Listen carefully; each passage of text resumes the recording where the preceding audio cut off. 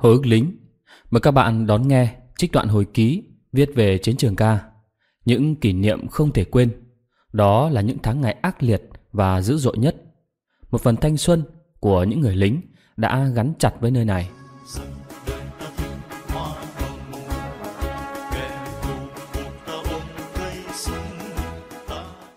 Mùa khô năm 1979 Các đơn vị thuộc tiểu đoàn bộ binh của Trung đoàn 747 đều đã có trận đụng địch Trước đó, riêng các đại đội trực thuộc trung đoàn bộ chưa hề chạm súng, trừ vài khẩu đội cối 82, 12 ly vác được điều xuống phối thuộc với các tiểu đoàn.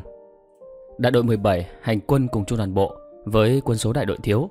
Cả đại đội chỉ có hai khẩu cối 82, hai khẩu đội khác đã đi phối thuộc cùng tiểu đoàn và một BDKZ đủ quân số để vác đạn cối và bảo vệ vòng ngoài khi cối bắn.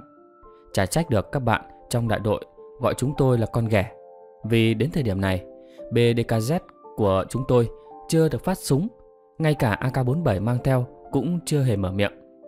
Hơn một tháng tại chiến trường ca, chúng tôi vẫn còn trong vai khán giả, xem cuộc chiến đang diễn ra của đồng đội trên những thước phim sống và vai người chết chỉ được diễn một lần.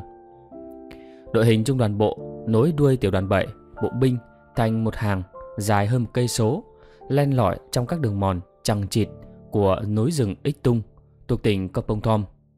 Lúc này, tôi không còn lạ lẫm với các cảnh tang thương của chiến trường, những ngôi nhà bốc cháy, những cây dừa đổ ngang. Chiếc GMC bung đầu bay xa vài chục mét vì mình chống tăng của Pol Pot. Những cáng thương đầy máu đổ về K23. Tiếng rên rỉ, hòa điệu cùng tiếng vọng xa xa của các nòng súng như là nhạc nền cho khúc phim chiến tranh đầy bi tráng.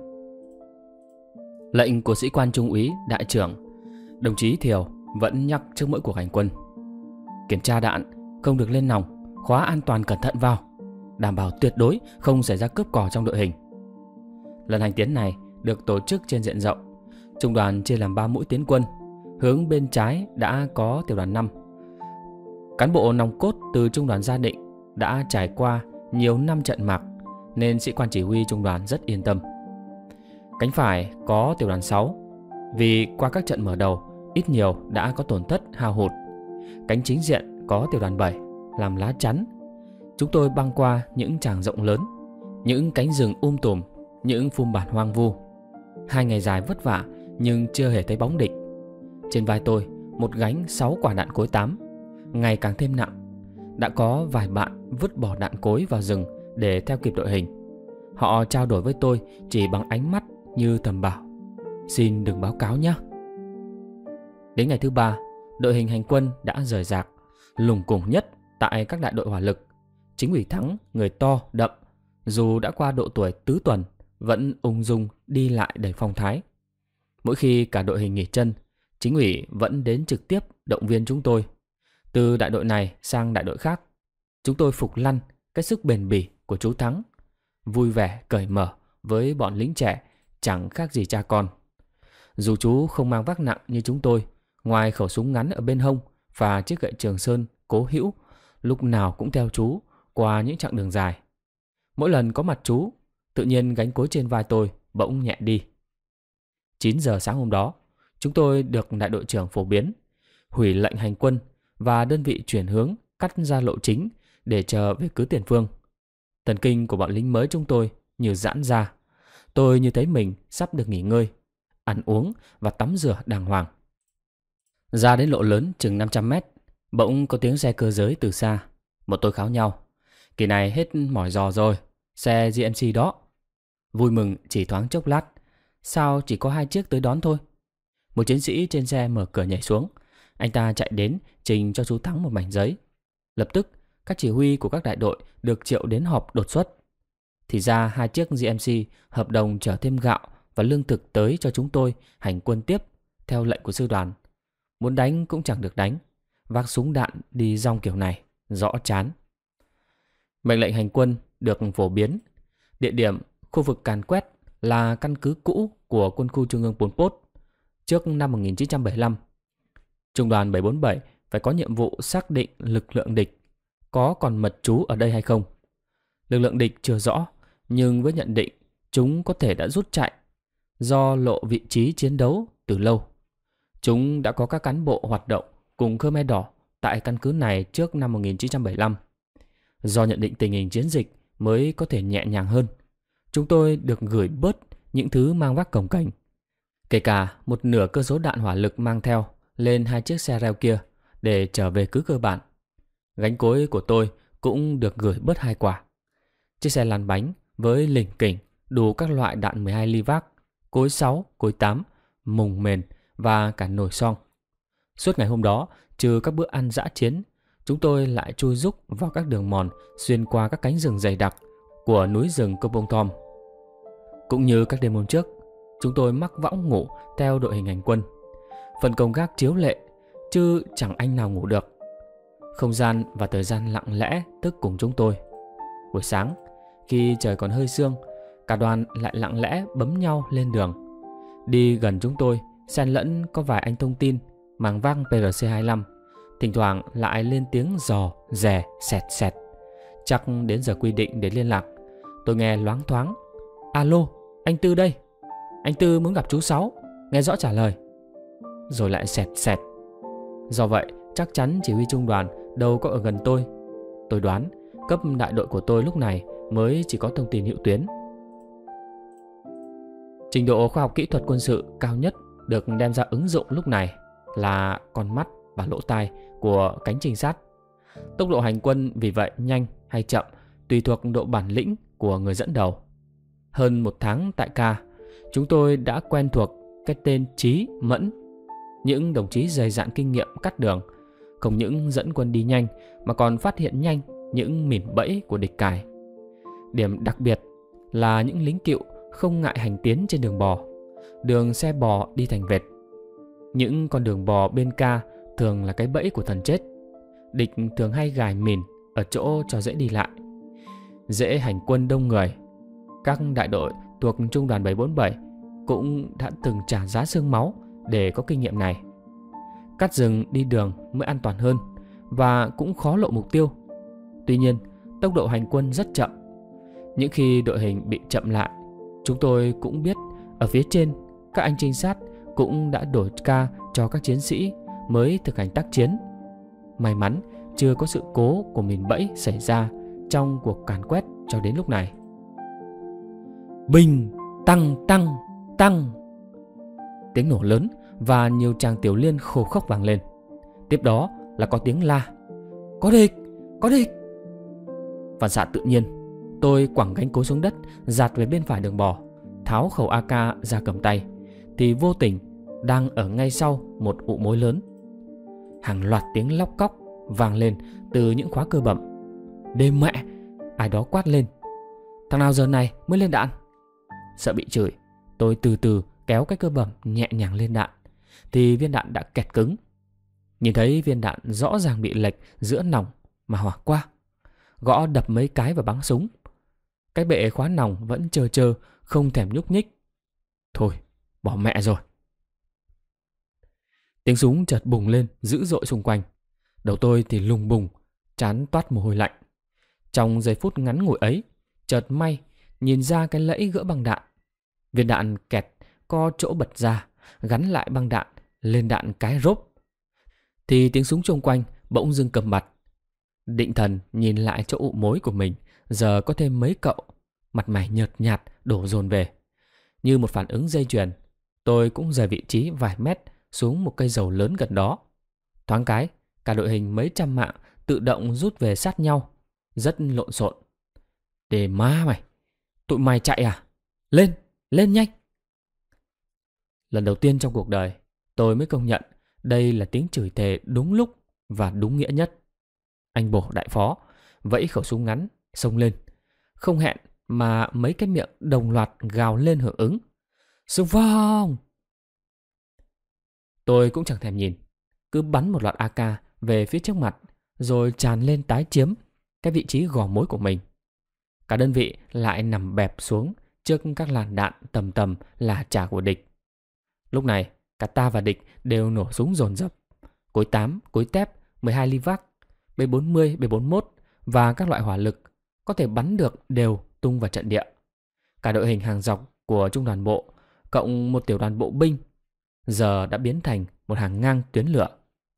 Từ đầu cánh tiểu đoàn 7 đến cuối đội hình trung đoàn bộ chúng tôi, chiều dài đến cả cây số, vậy mà chỗ nào cũng dàn lên tiếng súng. Chẳng biết chỗ đại trưởng ở đâu, nhưng lúc đó giữa trận thì thấy nổi bật lên cái gan lì của đại đội phó Lâm Văn Bộ. Anh ngồi sộp quan sát và điều khiển đội hình chúng tôi lần lượt bò lên nhằm chiếm những vị trí có lợi, tạo thành một vòng cung bảo vệ ban chỉ huy trung đoàn. Lúc này vẫn còn ở trên đường bò. Tản ra! Bú vào đó, nó cối cho một trái là bỏ mẹ bây giờ. Anh bổ từng lúc lại la lên. Những thằng lính tò te như tôi, lúc này cứ nghe tiếng la của anh thì nhất nhất làm theo. Trong lòng rất yên tâm vì có anh chiến đấu bên cạnh. Tuy nhiên, cả đội cũng chỉ vận động hơn chục mét. Tầm đạn của địch nghe chừng rát lắm. Tiếng cành cây gãy chàn chát, cỡ vài tấc trên khoảng đầu. Được lệnh đào công sự nằm tại chỗ. Tôi chỉ đào được cái lỗ, đất hất lên phía trước để bảo vệ gáo. Cái sẻng phải truyền cho các bạn vì cả tiểu đội chỉ có đúng ba cái. Chắc gửi xe gieo về trước cho nhẹ. Vừa bắn, vừa đào, vừa hô xung phong, mà đội hình chẳng tiến lên được mét nào. Bên tuyến địch cũng nghe thấy tiếng trô trô, mà chẳng thấy thằng giặc nào xông lên. Cứ mà bắn hú họa, chửi bới nhau cho đỡ sợ thôi. Tôi nghĩ, thì ra nó cũng như mình, mấy thằng lính mới như tôi, coi vậy mà còn yêu đời lắm. Ngoảnh lại phía sau là các bác chỉ huy đang ngồi trụm với nhau trên đường bò, chỉ trò vào một tấm bản đồ được đặt ngay trên mặt đất. Có tiếng chú Từ đáp Đưa máy cho tao, nhanh lên Dạ Tiếng rẻ rẻ Dưới sáu đâu? Thế đâu? Tiếng rẻ rẻ tiếp để mẹ. 162 162 cái gì? Bây giờ nói đụng địch thì nói đụng địch. 162 Tiếng rè rè. Thế à? Mày rót mấy trái xoài tượng cho tao nghe thử. Có tiếng binh, binh. Nghe khá xa nhưng rất rõ. Tiếng cối tám đầu nòng dễ dàng phân biệt với tiếng nổ của các loại đạn khác vì kết thúc sẽ là ba tiếng nổ lớn. Oanh oanh. Tương ứng.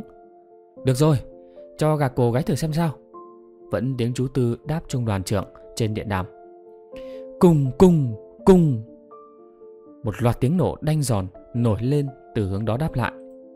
Bên thằng thế cũng đụng rồi anh thắng ơi. Tiếng chú tư quay qua anh thắng. Liên lạc ngay với ba sườn. Ngay đi, anh tư. Chính ủy thắng trả lời. Máy tiểu đoàn 7 đâu? Đưa tao. Chú Tư đáp gọi một chiến sĩ thông tin đeo máy gần đó. Ba sườn đâu? Ba sườn. Anh cho mấy trái xoài tượng coi. Binh, binh, oanh. Gà cổ, cho gáy đi. Không có tiếng gà cổ ở phía trước. Vài phút im lặng. Tiếng giò rè qua liên lạc. Tôi nghe không rõ. Chỉ nghe thấy chú Tư la lên. Chết mẹ, nó bị thương rồi. Quay sang chính ủy thắng. Ông không giấu được vẻ hoảng hốt anh ba này Thằng 12 ly 8 của ba sườn Nó nó gãy rồi Trận này đại đội 18 thiệt hại nặng nhất Hai chiến sĩ hy sinh bị thương 7 Chú Tư đáp, Quay sang cậu liên lạc. Mày chạy qua thằng 6 đại đội 18 Nói lệnh của chú Tư Điều một khẩu 12 ly 8 lên trên. Còn một khẩu điều xuống, Bố trí cuối đội hình. Coi chừng bị bọn miên đánh tập hậu. Nhanh lên! Cậu liên lạc vừa chạy đi. Chú Tư quay sang bên kia đường bò, Nói lên như hét. Dũng đâu? Mày cho bắn cấp tập 5 trái, Bắn cả hai cây nhá. Tôi lúc này mới biết vị trí của hai khẩu cối 82 của mình Ở phía bên kia đường bò. Sau các lùm cây Các bạn đã chặt cây ngã dạp xuống rồi Dựng cối bắn ứng dụng. Bum bum Tiếng gạc đầu nòng của cối 8 Khi nghe gần thì quả thật là đầy uy lực. Bọn chúng tôi cũng hùa theo Tiếng đạn nhọn lẫn tiếng hô hoán Ré lên vang động rừng núi nhưng toàn bộ đều xung phong tại chỗ. Mặt đất rung lên, khói súng tỏa mùi khét lẹt. Nhưng lúc này, hệ số thương vong chắc chắn tỷ lệ nghịch với số đạn được bắn ra. Vì tôi đã thay bằng đạn mới, mà có thấy tận mắt thằng địch nào đâu. Đến nỗi, đại đội phó bộ phải đứng chửi thề lên, quát chúng tôi ngừng bắn để tiết kiệm đạn. Có tiếng anh Tâm bề phó, trung đoàn gia định cũ cũng là lớn. Bắn phát cú hai viên một thôi. Chỉ tụi bay mà cứ làm hết cả băng là sao? Tiếng súng thưa tớt dần rồi im lặng. Lúc này tôi lại nghe tiếng giò rè của cái máy ở phía sau lưng. Nghe rõ luôn tiếng trung đoàn trưởng đang chửi thề trên máy điện đàm vì một tiểu đoàn của trung đoàn 747 đi lạc. Vào chi viện ngay, nghe chưa? Cứ theo tiếng súng nổ là vào ngay. Nghe chưa? Chỗ tôi nằm cách ban chỉ huy trung đoàn chỉ vòn vẹn vài bước chạy. Cùng nằm trong tầm đạn pháo như nhau, nhìn rất rõ động thái xử lý tình huống của các chú chỉ huy. Họ vẫn ngồi giữa con đường bò. Xung quanh đầy đó và chiến sĩ vệ binh trên tay cầm súng, dựa vào địa hình cây cối để cảnh giác bảo vệ. Họ trao đổi lẫn nhau rất khẩn trương nhưng không hề hốt hoảng. Chịu cùng áp lực khi tiếng súng, hò hét, rộ lên rất gần. Nhưng hình như họ không hề nghĩ đến việc ẩn nấp. Chỉ đến khi Uỳnh chiêu bằng! Tiếng nổ dữ dội nhất cả trận sau một tiếng rít quái dị. DK, nó có DK. Có đồng chí trong ban chỉ huy trung đoàn nhận ra và la lên. Lần này, tôi thấy các chú chỉ huy mới chịu tản ra, ngồi dựa vào gốc cây. Mẹ nó, thằng này phải từ cấp trung đoàn trở lên đấy. Một trong ban chỉ huy trung đoàn nhận định. Ngay sau đó, tiếng đạn từ phía địch trở nên quyết liệt hơn, dữ dội hơn. Tội nghiệp cho những lùm cây bị bắn đến trơ cảnh chốc gốc. Tôi và đồng đội nằm lì ở đó, trả đũa vài viên cầm chừng. Lúc này mà đứng lên là chỉ có chết thôi. Cuộc đấu súng rộ lên chừng 5 phút rồi im bặt. Lại lắng tai nghe ngóng. Mà lạ thay, cả một chiến trường đang náo động, giờ đây bỗng im lặng như tờ. Cái im lặng đến không ngờ. Từ cành cây, chiếc lá rụng, đến tích tắc của cái đồng hồ đều nghe rõ một một. Giữa cái thời gian cầm canh đó là một khoảng thinh không lặng lẽ, như linh hồn lạc về cõi hư vô.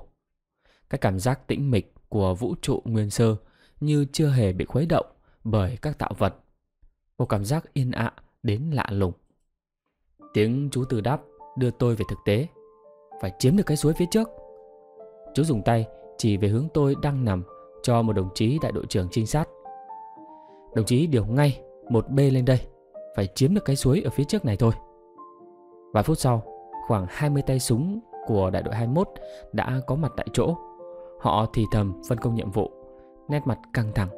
Họ chia làm hai cánh, rồi từng người lần lượt bò vượt qua công sự của chúng tôi. Rừng cây trước mặt tôi khá rậm tầm nhìn bị che khuất bởi nhiều táng cây gãy đổ. Các trinh sát dàn hàng ngang thận trọng trườn lên từng mét một. Anh trở lên đầu tiên qua khỏi vị trí tôi chừng 10 mét. Bên phải thì bị địch phát hiện.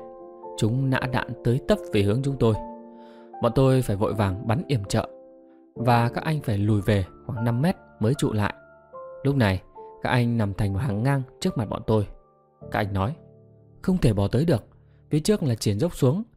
Đạn nhọn từ bọn ở bên kia suối bắn qua, tới mặt, không thể bò xuống được. Như vậy, toán trinh sát bị kẹt lại ở đó, bò lên chẳng được, bỏ xuống cũng không xong. Họ buộc phải đào công sự tại chỗ để bảo vệ mình. Lúc này, tôi cũng nghe rất rõ tiếng chú Tư đáp. Đề nghị với chính ủy Thắng xin lệnh rút ban chỉ huy trung đoàn về sau 100 mét vì quá gần tầm bắn của địch. Tiếng đạn nổ át tiếng điện đàm, không thể chỉ huy được. Với các loạt bắn hỗ trợ của DKZ, tôi rút ra đầu tiên, gom lại các cánh cối đang vứt giải rác dọc tuyến đường bò, chuyển đạn qua chỗ khẩu cối của B1 để lại đó. B1 tiếp tục bắn dưới sự chỉ huy của chính trị viên Thiều và trinh sát pháo đạt. Trên đường rút ra cùng ban chỉ huy trung đoàn, tôi giúp đồng chí Mai Đen, số 2 cối B2, đang loay hoay với cái bản đế. Rất nhanh, bọn tôi đã vận động theo ban chỉ huy trung đoàn cùng B2, B vệ binh và vài chiến sĩ thông tin lùi về tuyến sau. Tại đây, B2 cối 82 tiếp tục chặt đổ cây mở hướng bắn. Bọn DK chúng tôi lại dâng lên án ngữ ở phía trước, bảo vệ trận địa cho cối. Kể từ lúc này, tôi không còn nghe thấy tiếng rè rè của PRC-25 và tiếng chỉ huy trực tiếp của trung đoàn mình nữa. Có lẽ đã ở hơi xa. Đã qua vài tiếng đồng hồ chiến sự, bọn Pốt chẳng có dấu hiệu rút chạy. Thông thường các trận đánh trước, chúng đều không dám đương cự lâu với quân ta. Nhưng lần này, dựa vào công sự kiên cố ở bên kia bờ suối, chúng tổ chức phòng ngự chặt chẽ, từng đợt kìm hãm các đợt tấn công của ta với ý đồ chiếm lấy nguồn nước trong lòng con suối. dấu hiệu thiếu nước càng lúc càng rõ. Cuối mùa khô nên các con suối chúng tôi đã bị cạn kiệt. Những ngày vừa qua, chưa hề có một cơn mưa. Nguồn nước dự trữ lấy được phải cắt qua những trảng lớn hay bầu lớn. Khoảng cách gần nhất từ trận địa đến nơi có nước là hơn nửa ngày hành quân. Bất đắc dĩ, ban chỉ huy trung đoàn phải điều một đội gồm trinh sát và các anh nuôi, mang theo các phương tiện chứa đựng, cắt rừng trở về phía sau tìm nước.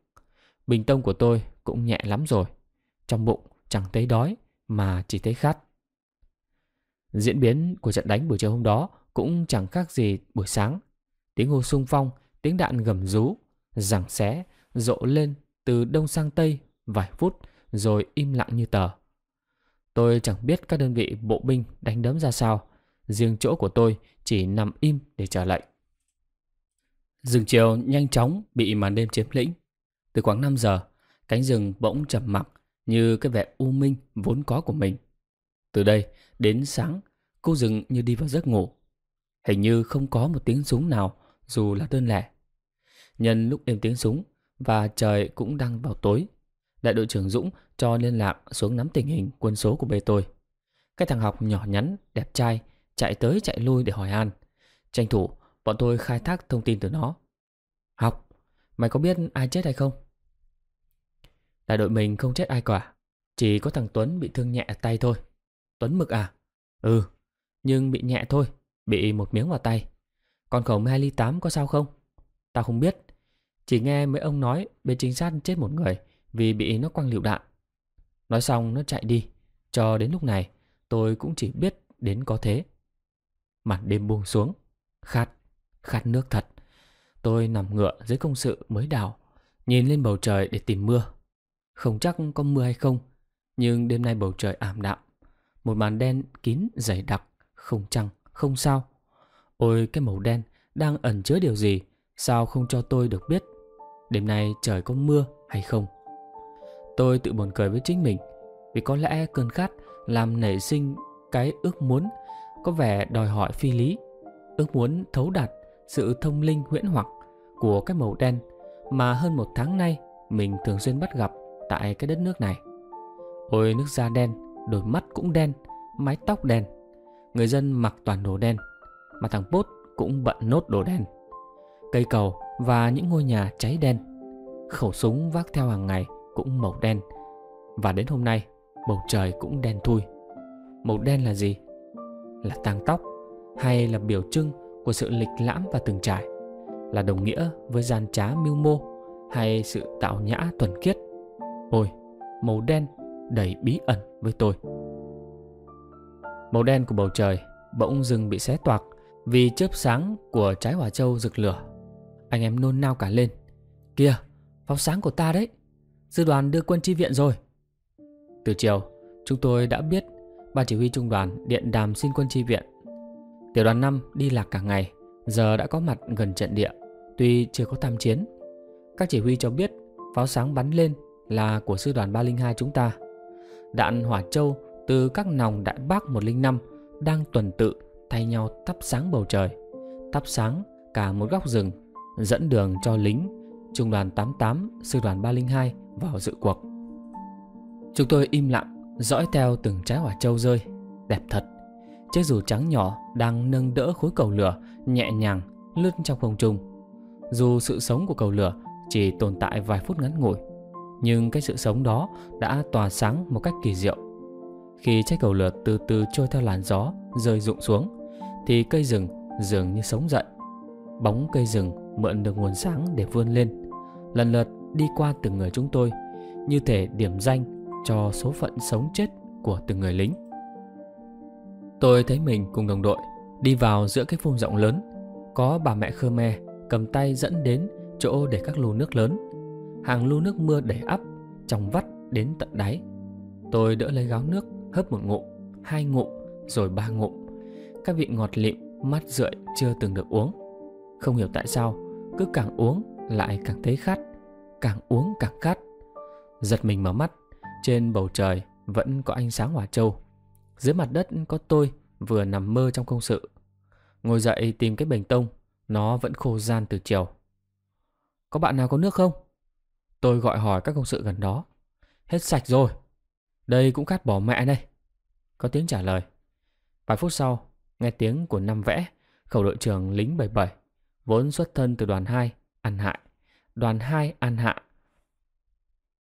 Bây giờ thằng nào có đái thì đái vào ca để dành đó mà uống. Tôi đã từng nghe kể rồi, nhưng trời ạ, chưa bao giờ lâm vào cảnh này. Phải có nước ở đâu đó chứ. Uống nước dài của mình thì mới nghe là đã muốn ói. Cơn khát ngự trị nên cả bọn chẳng buồn lên tiếng. Bầu trời và cánh rừng vẫn khi sáng khi tối bởi các quả hòa châu từng lúc đếm thưa dần. Tôi nằm đó cũng khi tỉnh khi mê. Trời ạ, cái gì vậy? Vài giọt nước rơi trên mặt, lại mơ chăng Trời mưa, ai đó vui mừng reo lên. Trời mưa thật rồi, mau mau lấy tăng ra hứng nước. Quả là trời mưa thật, không phải mình mơ nữa. Lúc này cả bọn nhốn nháo tìm tấm tăng để hứng nước. Cơn mưa xảy ra bất chợt và kết thúc ngay, nhưng vừa đủ cho tôi, đã khát và hứng đầy được bình tông. Chỗ anh nuôi của B cũng báo đủ nước để nấu cơm. Chẳng cần biết bên kia suối, bọn giặc ra sao. Cả cánh quân của ta như sống dậy. Tiếng nói rầm gian và sinh khí tràn lan cả khu rừng. Lệnh của ban chỉ huy trung đoàn cũng vừa truyền đến. Toàn trung đoàn quyết tâm chiếm suối trước 6 giờ sáng ngày mai. Có hy sinh cũng phải xung phong. Sau khi có kiểm tra về tình hình thương binh và cơ số đạn, đại đội 17 của tôi chỉ có Tuấn Mực bị thương nhẹ, còn tất cả đều an toàn. Riêng đạn dược chỉ còn phân nửa. Bọn tôi phải gom đạn nhọn chuyển lên tuyến trên dành cho trận quyết tử. Khỏe lại để chờ trời sáng đánh tiếp. Nhưng bắt đầu lính thấy đói. Nắm cơm khô cứng ngắt, chẳng nhai nổi, vẫn dắt ở thắt lưng. Chúng tôi bàn nhau tìm cách nấu cơm. Đốt lửa lên, tụi nó tới bắn bỏ mẹ. Đằng nào sáng ra cũng chơi rồi, sống chết còn chưa biết, chẳng lẽ là ma đói à? Xem chừng cái giọng anh nuôi dựng của chúng tôi cũng gần lắm.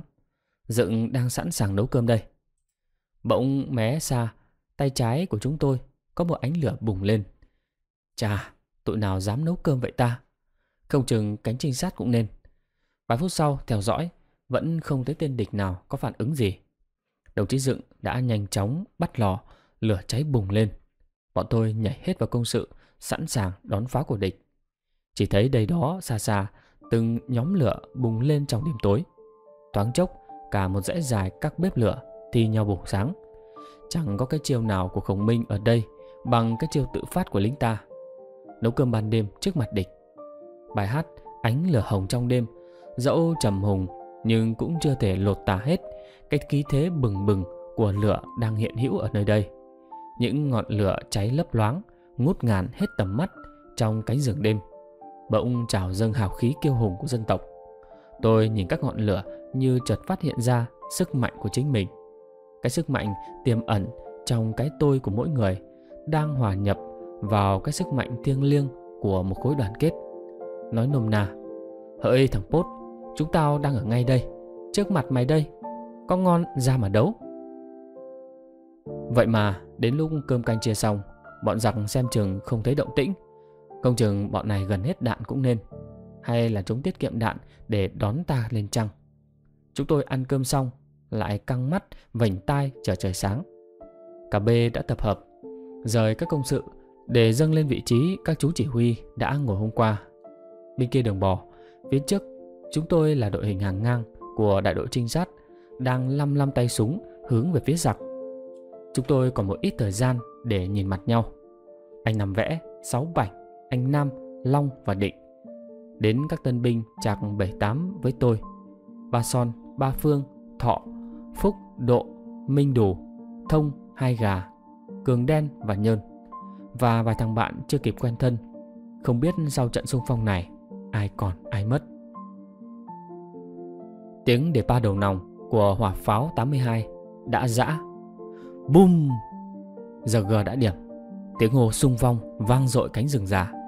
Chúng tôi giữ khoảng cách với đội hình đại đội trinh sát cùng sông tới. Phía sau lưng, hai cầu cối tiếp tục dã vào trận địa của giặc. Phía trước các anh trinh sát vừa bắn vừa sông lên. Chúng tôi lom khom chạy theo đại đội trinh sát khoảng 20 mét, cũng luồn qua các bụi cây rừng. căng mắt nhìn về phía trước, thấy các anh không hề dừng lại. Trong chỉ hơn một phút ngắn ngủi, chúng tôi biết đích xác đội hình mình đã vượt qua bờ suối của bên địch và không có một hỏa lực nào kiểm giữ chúng tôi. Thấy đội hình trinh sát ở phía trước nằm xuống, lập tức chúng tôi cũng nằm theo. Có lẽ trận địa trống. Tôi quan sát thấy vài anh trinh sát đang đứng lên, quay lại khoác tay la lớn. Dừng bắn! Bảo cối dừng bắn! Chúng tôi đồng loạt quay lại hướng sau la to. Ngưng bắn! Tiếng cối tức thời ngừng hẳn. Vài phút im lặng trôi qua. Trực quan báo cho tôi biết không có gì phải lo sợ nữa. Bọn bồn bốt đêm qua lợi dụng hỏa châu của ta đã rút chạy cả rồi. Đây đó còn nghe vài tiếng đạn nhọn của phe ta. Chẳng biết họ bắn gì. Riêng bê của tôi chẳng ai tốn một viên đạn vì thật sự không có gì để bắn. Cư giặc bốt bên này suối khá trống thoáng. Trời buổi sớm còn nhiều sương mù nhưng vẫn thấy rõ bộ đội ta có mặt ở khắp nơi. Chúng tôi tham gia lùng sục quanh căn cứ của Pốt. Chẳng còn một cái xác nào cả. Chỉ thấy máu và bông băng của chúng còn vất lại. Đây đó, những băng đạn rỗng, cái bao xe còn dính máu vắt ngang cành cây gãy. Những đôi dép dâu dưới hầm công sự. Cảnh địa trông thật hoang tàn. Chúng tôi thận trọng di chuyển trong cứ địch. Vì biết đâu chúng lại cài mìn trái thì khổ. Nghe anh em phát hiện hai xác ngựa. Hay quá, có thịt tươi rồi. Mấy ngày luồn rừng toàn đồ khô cơm vắt. Anh nuôi dựng đâu? Lên nhận phần chế lợi phẩm cho anh em đi. Bọn tôi kiếm chỗ mắc võng đi ngủ đây. Cả đêm thức trắng, giờ buồn ngủ quá. Rút cuộc, tôi không ăn được miếng thịt ngựa nào hết. Chưa được nửa tiếng nghỉ ngơi trên chiến địa, vẫn còn nguyên bộ đồ với cái quần và đôi giày chưa kịp khô. Lúc phải chạy băng qua con suối cạn. Tôi và ba đồng đội được điều vào đại đội tại thương với lý do rất chính đáng là to con. Toàn bộ 11 cáng gồm 3 tử sĩ và 8 thương binh. Chúng tôi 4 người được phát một ruột tượng gạo, trang bị 2 AK-47 và lãnh trách nhiệm một cáng tử sĩ. Tức tốc cùng đoàn tải thương gồm 44 đồng chí và 3 trinh sát cùng 3 công binh của trung đoàn cắt đường trở về phẫu tiền phương. Chúng tôi không có dịp ở lại chiến địa để nghe tổng kết về trận đánh này. Có điều, về sau, tôi được truyền đạt chính thức. Khi ta đã giải mã thông tin của địch gửi báo cáo cho nhau. Trong trận này, địch có tổng số thương vong hơn 100. Đó cũng là căn cứ chính thức cho việc khen thưởng của trung đoàn 747 sau này. Riêng tôi, đây là lần chạm súng đầu tiên của toàn đơn vị, có đến 80% là tân binh.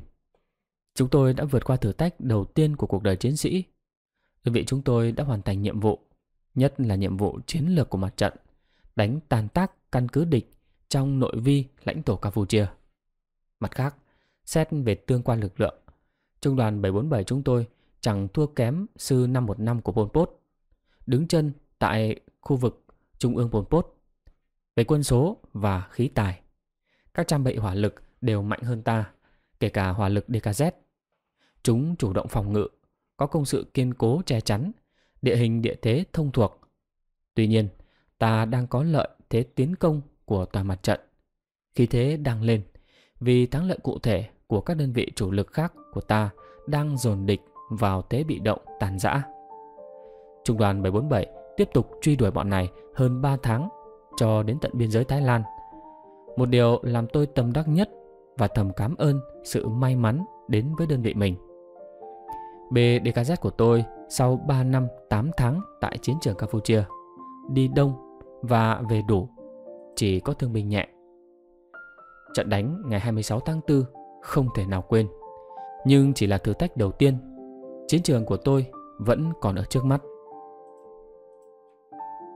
Ngày đó đơn vị của tôi ở Akong Krao, nơi nổi tiếng nhiều thầy bùa, đủ các tông môn ở Campuchia.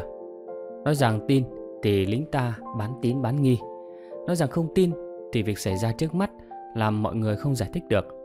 Trong bê của tôi, có anh hai gà là tín đồ của môn này. Cho đến ngày trở thành thầy, bất chấp bị hạ lon từ hạ sĩ xuống B1 và khai trừ ra khỏi đoàn. Bộ đội ta khi đó về phum đa số đã giành tiếng ca rồi. Khi biết được trong phum có nhiều thầy bùa, anh em cũng tò mò lắm. Nhưng anh nào có xin bùa cả tha thì khi đi tắm sẽ lộ ra ngay, vì phải cởi ra để tránh ô uế. Trừ trường hợp ở lội sông, lội suối bất đắc dĩ. Hai gà đi học ở một ông thầy tuổi đã cao trên 90 sống một mình ở giữa phum. Có một hôm, chúng tôi ngồi uống rượu với nhau vài chén, thấy hai gà đi ngang nên mời hắn vào nhậu. Bình thường, hắn cũng uống được, nhưng không hiểu bữa ấy hắn chỉ làm đúng một ly rồi về. Hai gà lúc ấy là pháo thủ DK số 1 nên nó về giữ súng càng tốt. Bọn tôi cũng làm thêm vài tuần vụ nữa rồi chia tay nhau. Chỉ có ngày nào được phép như Tết lễ mới ở lại bét nhè. Về đến chỗ khẩu DK, thấy hai gà đã chui vào võng chủ kín mít. Cái võng cứ từng hồi run bẩn bật. Quái lạ, giữa ban ngày ban mặt. Không lẽ hay nó bị sơn khun chanh, sốt rét rồi. Tôi lại dở võng để xem Thấy nó co quắp ở trên võng, Mặt mày nhợt nhạt. Này, mày bệnh à? Bệnh thì tao báo y tá nhá. Hai gà chỉ khua tay. Không không không. Để tao để tao nằm 5 phút. Tôi về chỗ. Khoảng 5 phút sau, Nghe tiếng đụi một phát. Nhìn sang thấy hai gà lăn cảnh Bọn tôi bu lại, định hỏi han. Hai gà đột ngột nổi cơn điên. Hắn cứ nằm dưới đất Mà tay đấm, chân đá lung tung còn hét lớn tiếng phạn vang cả trời. Bọn tôi chẳng hiểu mô tê. Dân ca xung quanh nghe động cũng xô tới xem khá đông. Hai gà lăn lộn ở dưới đất, cùng tay đấm xuống nền. Chân phang vào mấy cái cột nhà, đùng đùng đến tóe máu. Chủ nhà chạy xuống nói với tôi. Hai gà bị bùa vật, đang tự phá mình. Phải trói nó lại, kẻo nó bị thương tích. Ông cho chúng tôi mượn sợi dây cột bò để dùng làm dây chói Hợp đồng tác chiến lấy 5 để 1. Tôi giữ phần đầu, còn 4 trinh sát lo phần tứ chi. Hai ba nhảy vào, hai gà co chân đá vù một phát xem trúng mặt tôi. Nhanh chóng, hai gà bị tứ mã phanh thầy. Với bốn cây cột nhà thay cho bốn con ngựa. Vậy mà nó vẫn dãy ruộng la hét in trời. Tay chân đỏ quạch toàn máu. Tôi hỏi chủ nhà cách chữa trị vì ông ta cũng là thầy bùa. Xong ông chú lắc đầu lia lịa nói Ôi không được không được Tôi chưa đủ căn để giải đâu Hãy mời thầy hai Sư phụ của hai gà cũng tên là hai Tôi cùng đồng chí Đạt và một bạn nữa kéo nhau vào giữa phum tìm nhà ông thầy hai. Ông già 90 tuổi đang giấc ngủ trưa. Nghe chúng tôi báo thằng hai bị cái gì đó thì đưa tay bấm độn. Ông chỉ thốt lên bằng tiếng Việt. Chết rồi, chết rồi. Không chờ chúng tôi nói thêm, vội vàng xỏ dép đi ngay. Nhanh chóng dẫn đầu cả bọn. Cứ nghĩ ông là thanh niên thì đúng hơn. Đặc biệt chẳng cần chúng tôi dẫn. Ông cứ ảo ảo, vừa đi vừa bấm độn, vừa ê a tiếng vạn. Từ xa cách cỡ 30 mét, đến chỗ chói hai gà đã nghe tiếng rên la của nó. Thầy ơi, con không sao hết. Bọn tôi rất thấy làm lạ vì với khoảng cách này và sự che khuất bởi các hàng cây bên đường, làm sao hai gà có thể biết được thầy nó đến. Hơn nữa, buổi trưa vắng, còn dân ca và các nhà xung quanh đang tề tiệu tại chỗ hai gà bị trói. Họ cũng chẳng thể trông thấy bọn tôi. Thầy hai rất nhanh đến chỗ hai gà, dùng tay tát vào mặt hai bên mặt của hai gà hai cái. Tôi nghe ông già nói với hai gà bằng tiếng Việt lơ lớ. Em có thương anh không? Dạ thương. Em làm vậy là giết anh. Dạ, con không sao mà thầy. Con biết. Ông già kêu bọn tôi cởi trói. Lúc này hai gà kêu lên thút thít như trẻ con vì đau. Hai mu bàn tay sưng tấy, còn đọng máu. Hắn đứng lên, còn chẳng nổi. Phải dìu ra chỗ bàn ăn, tự làm của chúng tôi ở ngoài trời. Ông già xin chủ nhà bảy lá trầu và một thau nước lã. Nhúng lá trầu vào nước lã, rồi quét lên vết thương. Hai mu bàn tay và hai ống quyển đầy máu. Quét xong, ông già nói, còn đau không? Hai gà cười tỉnh khô. Dạ không. Rồi bóp mở bàn tay như tự kiểm tra. Sự việc này nhanh chóng đến tay ban chỉ huy trung đoàn. Tôi được nhận phân công trực tiếp làm công tác tư tưởng, vận động đồng chí hai từ bỏ buông ngại hoặc sẽ bị kỷ luật đoàn. Công tác này tôi không hoàn thành và kết quả kỷ luật với hai gà như tôi đã nói. Giải thoại về hai gà còn khá nhiều vì tôi ở sát một bên với nó ở trong một thời gian dài. Điều tức cười nhất là tôi làm vật thử nghiệm với các chai rượu thuốc của hai gà. Bất cứ loại cây thuốc nào mà hai gà siêu tầm được để ngâm rượu đều nhờ tôi nhắm thử.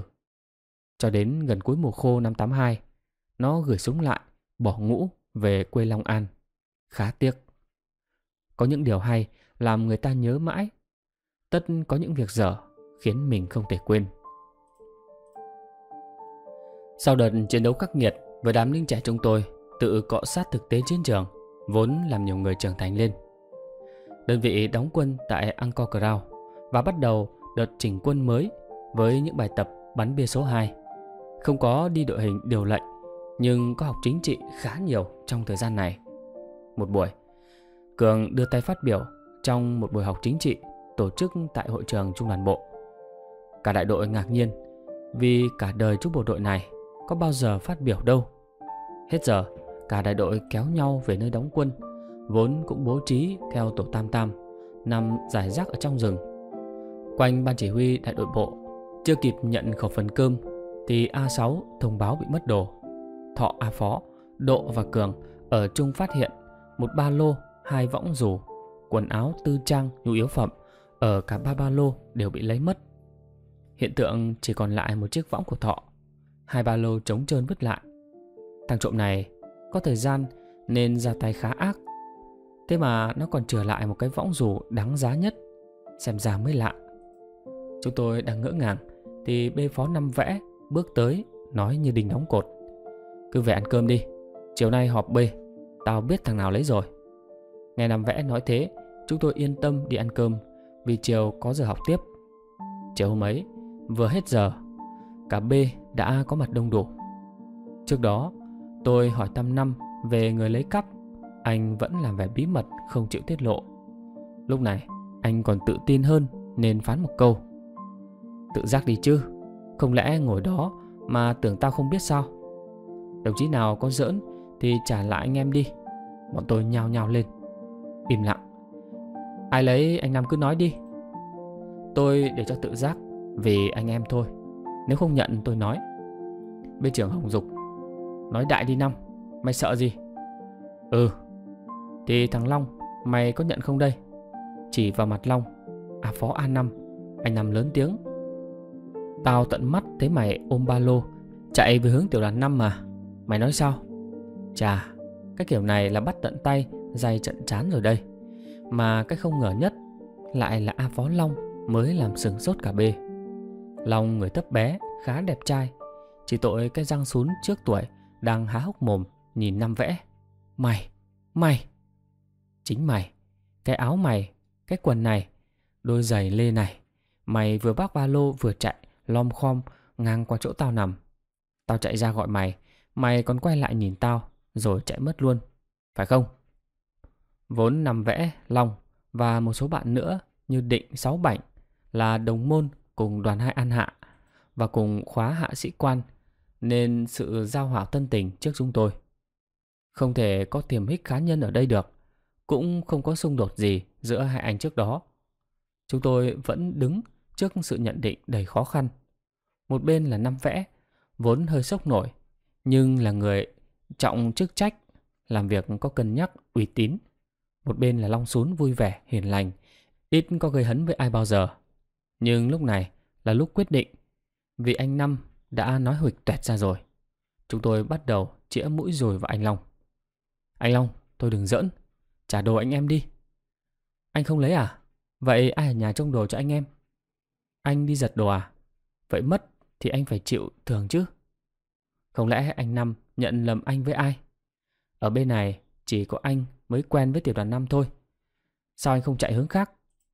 Bởi anh Năm muốn tốt cho anh nên xử lý nội bộ thôi. Nếu anh ngoan, không nhận sẽ đề nghị ra trước đại đội đó. Tôi nhìn thái độ của anh Long mà phán đoán, chỉ thấy gương mặt Long càng lúc càng xám, đôi môi lắp bắp như muốn trả lời điều gì. Có thể người ta ứng phó dễ dàng với tình huống khó khăn khi chạm địch vì được huấn luyện thành phản xạ. Nhưng đối mặt với cơn giận dữ của tập thể dồn mình thì mấy ai đã trải qua. Có tiếng của Cường. Anh Long, không nhận cũng được, nhưng trả tôi chiếc võng đây.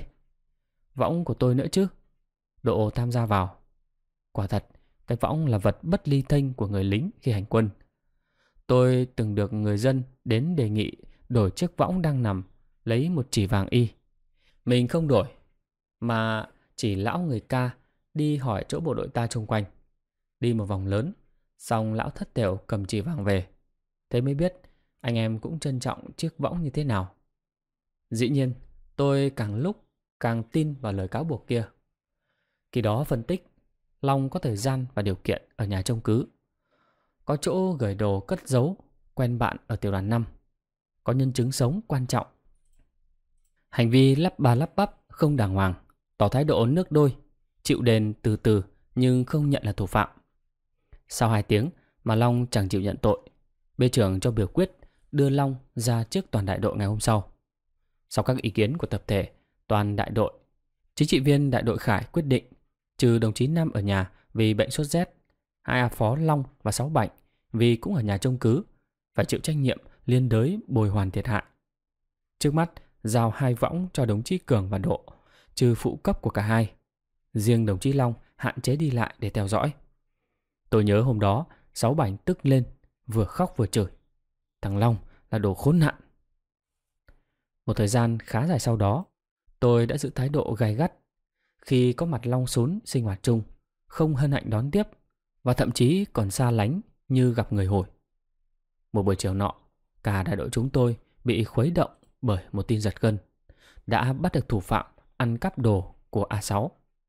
Chúng tôi đổ dồn về đại đội bộ để hóng tin. Thực hư như thế nào chẳng rõ, nhưng đại đội trưởng bảo đồng chí Thọ đang áp giải tên ăn cắp về. Một lát sau, đoàn áp giải về tới. Từ xa, dễ nhận ra có một anh bị trói, thúc ké trong đoàn áp giải. Thằng Long. Không phải, Long đang đứng cùng chúng tôi mà. Quả thật, tên này giống Long sún từ đầu đến chân, từ cái đầu hất ngang, cái dáng lùn lùn đến đôi giày lê, cái áo lững bỏ ngoài quần. Ngoài gương mặt, nếu nó nói là anh em sinh đôi với Long thì cũng không sai. Cả bọn tôi hết nhìn nó lại nhìn Long nhà ta để tìm nét khác biệt. Bất ngờ trong chúng tôi, Cường lao ra nện mấy quả vào mặt thằng bị trói. Để mẹ mày, thằng ăn cắp. Cường còn chửi lung tung gì đó, bọn tôi phải lôi nó ra xa. Lúc này, dễ có người đánh hồi lắm vì thông thường ai cũng ghét bọn ăn cắp vặt. Sư trưởng bước ra can thiệp rồi giải tán chúng tôi ai về chỗ ấy để đại đội tiến hành làm việc. Chúng tôi được tập hợp ngay chiều hôm đó để chứng kiến một kết quả bất ngờ khác. Từ trước hàng quân, kẻ cắp đọc bản tường trình chi tiết về vụ trộm. Hắn nhận đã làm đúng theo sự chỉ bảo của Cường. Từ thời gian của đại đội đi học chính trị đến bản vẽ chi tiết các đường mòn để vào ngay chỗ Cường lấy đồ mà không bị sáu bạch phát hiện. Có một việc làm sai là thay vì để lại võng cho Cường nằm, vì Cường rất sợ trái tăng nằm đất, hắn lại nhầm nên gom luôn cái võng của Cường theo. Hắn đã từng cộng tác với Cường trôm chìa nhiều vụ chót lọt, nhưng vì ức Cường ra tay đánh dọa quá nặng mà đã khai hết luôn cho bỏ ghét. Một sự thật quá hiển nhiên, một sự bất chợt làm tôi trột dạ. Từ bấy lâu nay đã có ác cảm với Long, bao nhiêu thì bây giờ mình hối hận bấy nhiêu. Nếu không nhờ thằng Thọ đi công tác ghé lại B xây dựng chính quyền thăm bạn cũ thì đã không nằm ngay trên chiếc võng có ghi tên Cường đã bị mất cắp. Đúng là cái kim trong bọc lâu ngày cũng lòi ra. Thọ nhận ra ngay chiếc võng quen thuộc và dòng chữ của Cường. Anh báo cho bê trưởng bạn làm việc ngay với thằng lính nổi tiếng ăn chơi lêu lỏng đó và phát hiện ngay. Rõ ràng không kể xiết nỗi vui mừng của kẻ giải oan. Long lồm chồm lên chỉ mặt chúng tôi. Đấy nha, tụi bay trói tao là ăn cắp. Nói vui lắm, còn chúng tôi thật ngượng, kể cả năm vẽ nữa.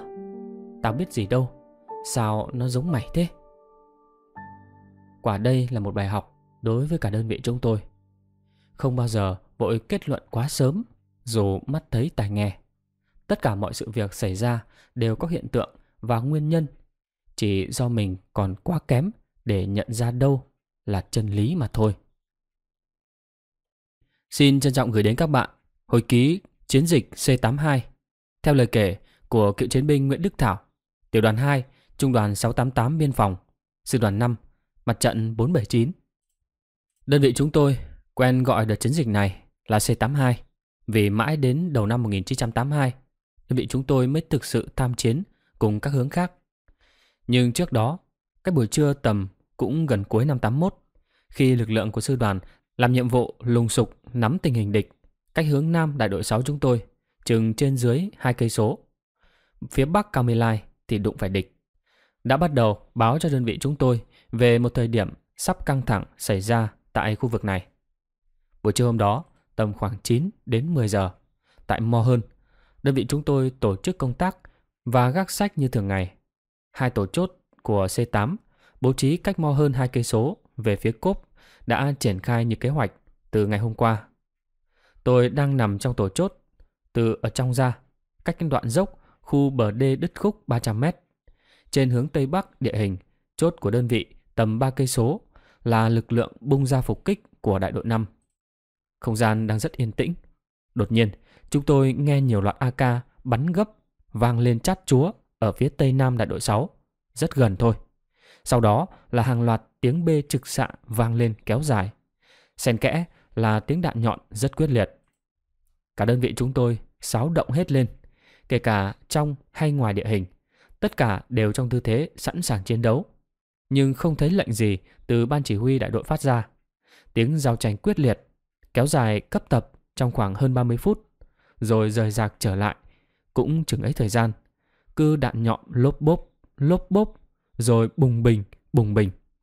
Ngay khu vực tổ chốt của chúng tôi, đến khi dứt hẳn tiếng súng, chừng hơn 30 phút, thì có một tổ thông tin của tiểu đoàn ra bắt liên lạc và báo chú ý lực lượng sư đoàn trinh sát hướng Cao Mê Lai vừa rồi đụng địch. Sắp đi ra, sau khi quá cảnh vào đội hình tiểu đoàn. Giữa lúc chúng tôi chưa kịp tổ chức nống sâu vào trong khu vực đường để cảnh giới, như chỉ lệnh, thì lực lượng của sư đoàn đã tới. Đoàn người đi ra lập tức, sau khi cắt vào tiểu đoàn chúng tôi mà không dừng lại. Trên nét mặt ai cũng căng thẳng, lên đến vài hơn trăm quân. Nhìn kỹ thấy có vài khuôn mặt lính già. Họ đi gấp lắm, như muốn trốn chạy khỏi mo hơn vậy. Sau đó, chúng tôi được biết trong đoàn người hôm ấy có mặt thủ trưởng sư đoàn Trần Đối đi chỉ huy trực tiếp. Ngoài lực lượng sư đoàn chúng tôi, không biết còn có đơn vị nào khác không. Có một giai thoại về sự kiện này lúc đó. Nhưng mãi đến giờ, tôi không có gặp ai trong đoàn đó để xác minh và kiểm chứng. Chỉ nghe kể lại, đoàn trinh sát đang đi từ hướng Nam Sấp qua Mò Hơn. Cách chúng tôi chừng hai cây số, thì bất ngờ cả đội hình bị bọn Pol Pot đứng lên sát bên cận chiến. Trước đó, thủ trưởng có giao cho đồng chí liên lạc của sư đoàn mang dùm khẩu K59 của mình. Và trong lúc nổ súng hỗn loạn, anh em nói là do Pol Pot thấy đồng chí này giữ cây K59 nên nó lập tức tập trung bắt sống. Không biết như thế nào, anh em còn nói lúc đó do thủ trưởng có linh cảm nên mới có tình huống như trên nữa. Không biết có đúng không, nhưng ngày đó đơn vị tôi, đa số anh em vẫn nghe như vậy. Còn về địch, trong khu vực Mo hơn, do tiểu đoàn 2, trung đoàn 2, sư đoàn 5 đảm nhiệm lúc đó, thì sau trận quần nhau với lực lượng sư đoàn, chiều tối hôm đó, bọn Pol Pot lần theo dấu vết của sư đoàn vào tới gần đội hình đại đội 6 tập kích. Chúng tôi bị một trận hỏa lực nổ đỏ trời suốt gần một tiếng đồng hồ. Trước khi bước vào chiến dịch, chỗ chúng tôi có vẻ được tiếp tế đầy đủ hơn một chút với lượng đường sữa bồi dưỡng và thịt hộp, cá hộp dành cho công tác chuẩn bị. Thêm nữa là trước đó khoảng một tuần, ngay tại trước đội hình của đại đội 8, anh em đi gài mìn ngay vũng nước cạn, chúng được bầy heo vừa lớn vừa nhỏ, tất cả 27 con. Thông thường gài kiểu này chỉ được chừng 2 đến 3 con là hết cỡ. Đơn vị gài chúng thường ém bớt cho mình để làm thực phẩm ăn dần.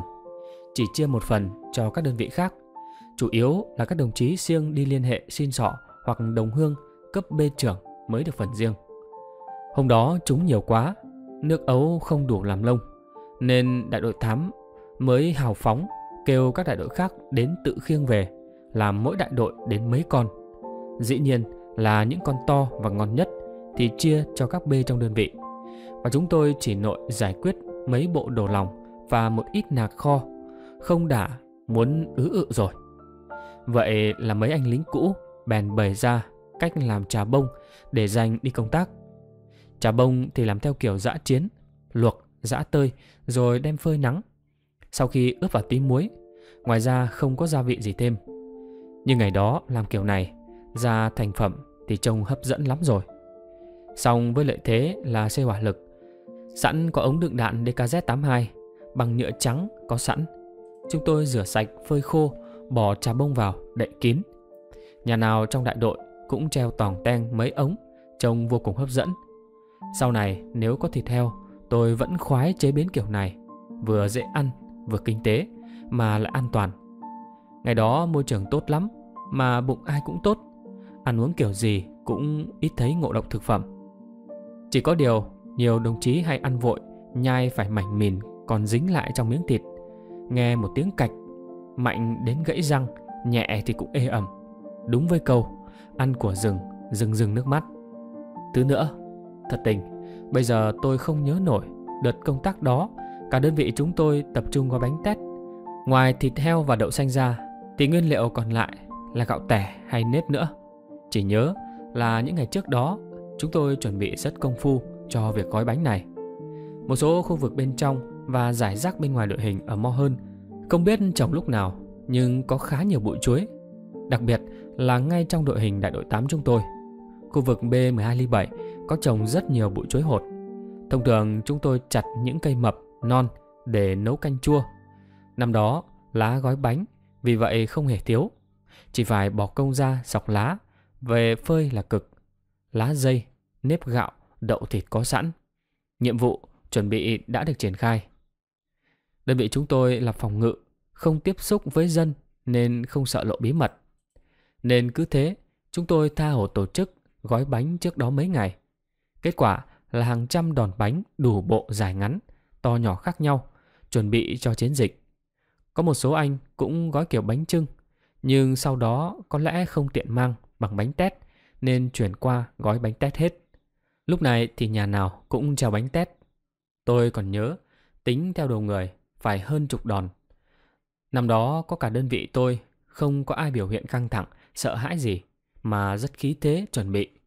Đơn giản là bấy lâu nay cứ dơ đầu chịu cho nó đánh. Giờ cùng với đội hình sư đoàn, từ các hướng khác, có dịp đi đánh phục thù. Ai cũng nghĩ đơn giản như vậy, mà không biết rằng phía trước mình, những ngày kế tiếp sẽ như thế nào. Chiến dịch C8182 có lẽ là chiến dịch quy mô lớn đầu tiên trên chiến trường ca kể từ sau chiến dịch giải phóng Campuchia sau 1979. Ban đầu, khi ta tiến hành giải phóng ca với khí thế ảo ạt, mặc dù cũng ra sức chống đỡ quyết liệt, nhưng bọn Pol Pot phản động không cách gì ngăn chặn nổi sức tấn công quá mạnh của quân ta, dẫn đến tháo chạy hàng loạt đến tận bên kia biên giới Thái Lan. Với đà tiến công quá mạnh mẽ, một số mũi hướng ta truy kích địch tận qua đất Thái. Nhưng sau đó Thái bắt đầu có một số phản ứng ngăn chặn nhất định. Điển hình là trận năm 1980 của 174 ở hướng Nông Trăn. Chúng đã đưa cả không quân và bộ binh lên tham gia đối phó, buộc ta phải lui về bên này biên giới để tổ chức phòng ngự và truy quét ra xung quanh. Không thể đột kích như lúc ban đầu được nữa. Lợi dụng thời cơ này, các đơn vị của bọn Pốt bắt đầu gom quân, lập thành các căn cứ cận biên để củng cố lại lực lượng, tiến hành phản kích, quấy rối, tiêu hao các lực lượng ta. Được sự hỗ trợ tối đa của các thế lực thù địch. Bọn chúng bắt đầu tổ chức lại các đơn vị, tiến hành huấn luyện, củng cố và sau đó từng bước thâm nhập để đánh phá, tiêu hao các đơn vị phòng thủ và xây dựng chính quyền của ta, lôi kéo một bộ phận nhân dân và tạo thế cho bọn địch cài cắm lại từ trước, ngoi lên phá hoại. Đã có những trận đánh mang quy mô khá lớn xảy ra dọc suốt biên giới Campuchia-Thái Lan với hàng trăm tên trang bị đầy đủ chính quy, kết hợp với xung lực và hỏa lực vượt trội.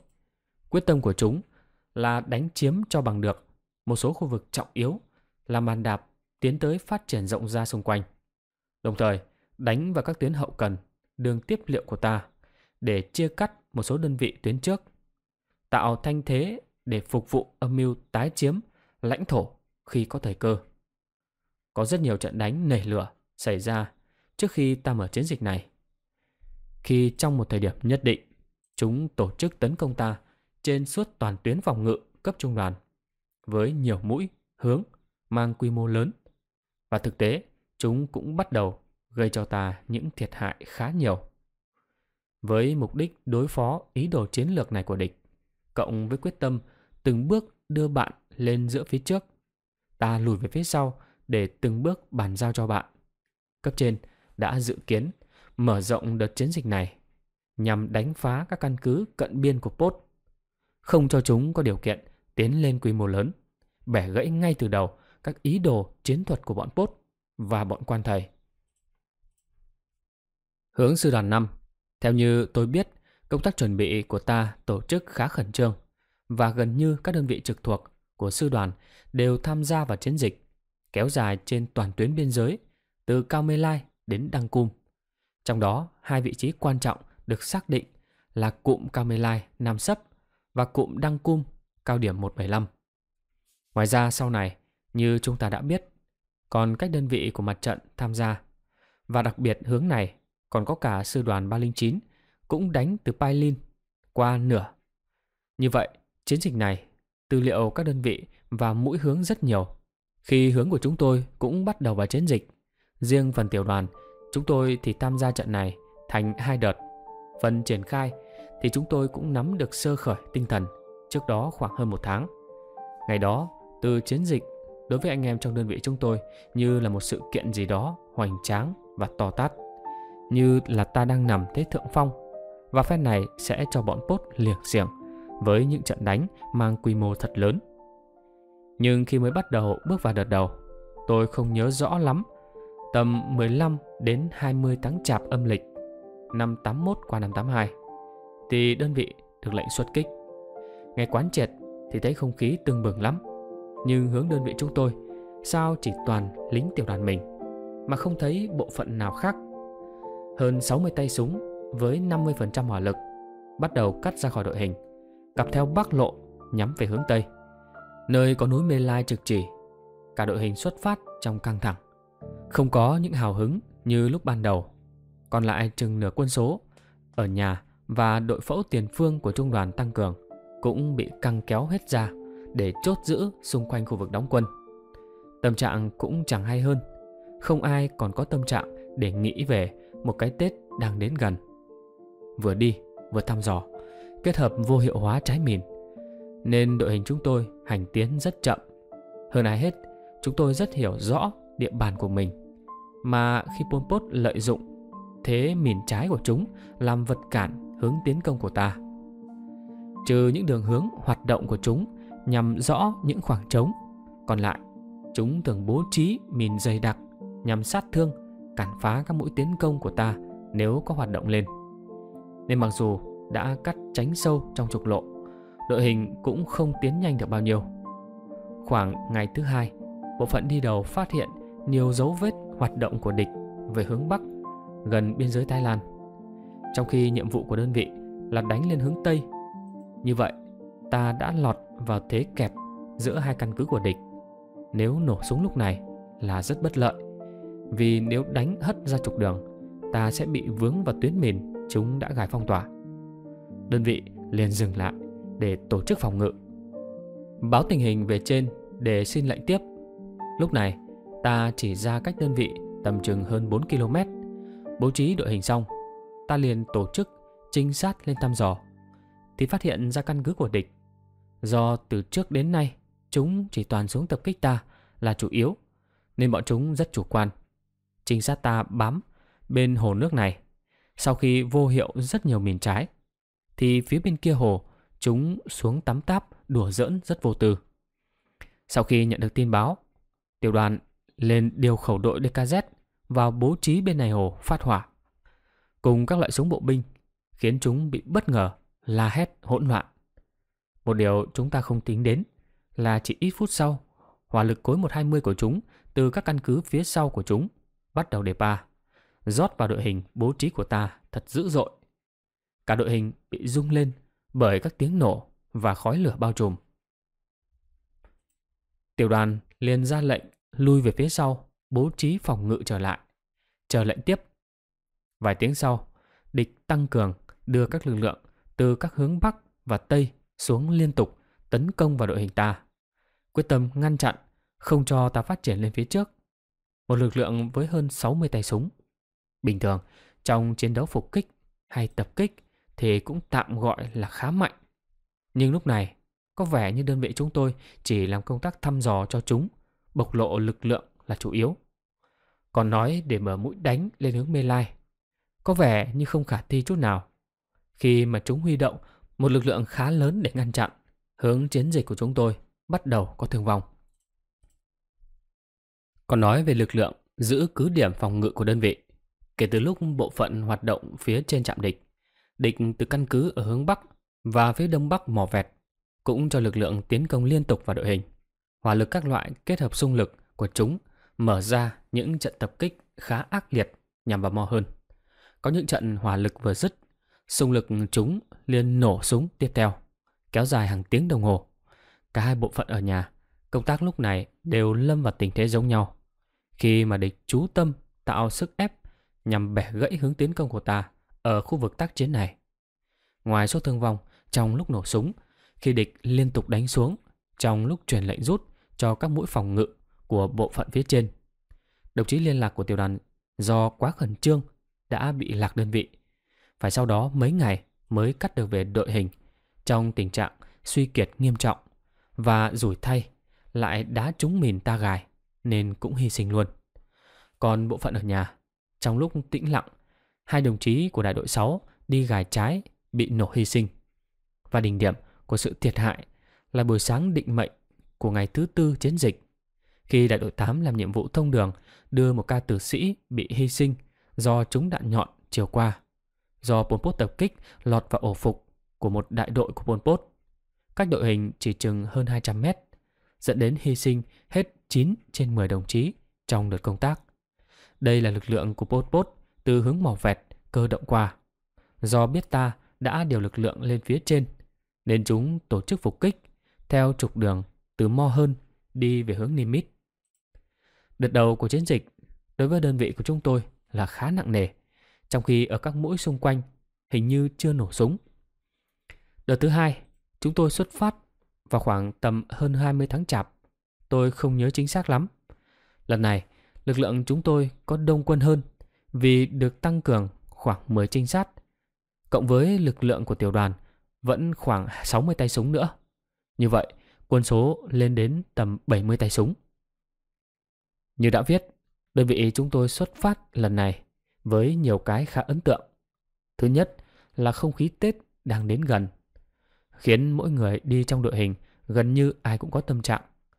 Và vì chính cái không khí như vậy, nên thay vì cơm vắt như mọi khi, lần này ngoài quân tư trang, vũ khí và nước uống, đồng chí nào cũng mỗi người thấp nhất có bốn đòn bánh tét mang theo lủng lẳng bên người. Khẩu đội cối còn mang được thêm hai ống DKZ, trà bông làm bằng thực phẩm công tác. Vậy là cũng tươm tất về mặt hậu cần. Nhưng đối với những người lính trẻ như chúng tôi lúc đó, khối lượng mang trên người trong cuộc hành quân này là khá vất vả. Vì chúng tôi phải tự mang theo hết. Do không có bộ phận nào làm công tác đảm bảo phía sau lên. Trời mùa khô, rừng cao mê lai sợ nhất là thiếu nước. Đơn vị chúng tôi ai cũng hiểu điều đó, nên có thể bỏ lại các thứ cần thiết về trang bị như võng, tăng, tấm đắp. Nhưng nước uống thì ai cũng cố mang theo trong khả năng của mình có thể mang được. Trung bình là mỗi người một căn vàng loại 4 lít và từ 1 đến hai bình tông bên hông. Vất vả nhất trong hành quân có lẽ là khẩu đội cối 82 của chúng tôi. Lúc này, tôi đã là khẩu đội phó. Vì rừng cao mê lai thời điểm đó rất rộng, với thực vật 3 tầng. Bình thường Maaka đã đi lại vô cùng vướng víu. Có nhiều đoạn, anh em phải người trước chui qua, rồi nằm kéo từng bộ phận của khẩu pháo qua sau. Có đoạn dây leo vướng vào bộ phận pháo, giật anh em mang pháo, té bật ngửa. Do hướng phát triển không còn mang yếu tố bí mật nữa mà mục tiêu lại nằm ở phía trên nên đợt công tác này đơn vị không cắt theo hướng cũ nữa mà theo nam đường để phát triển lên. Tốc độ khá chậm. Lần này và từng bước cảnh giới dò mìn vừa bị địa hình gây khó nên cả ngày chúng tôi phát triển chừng vài km.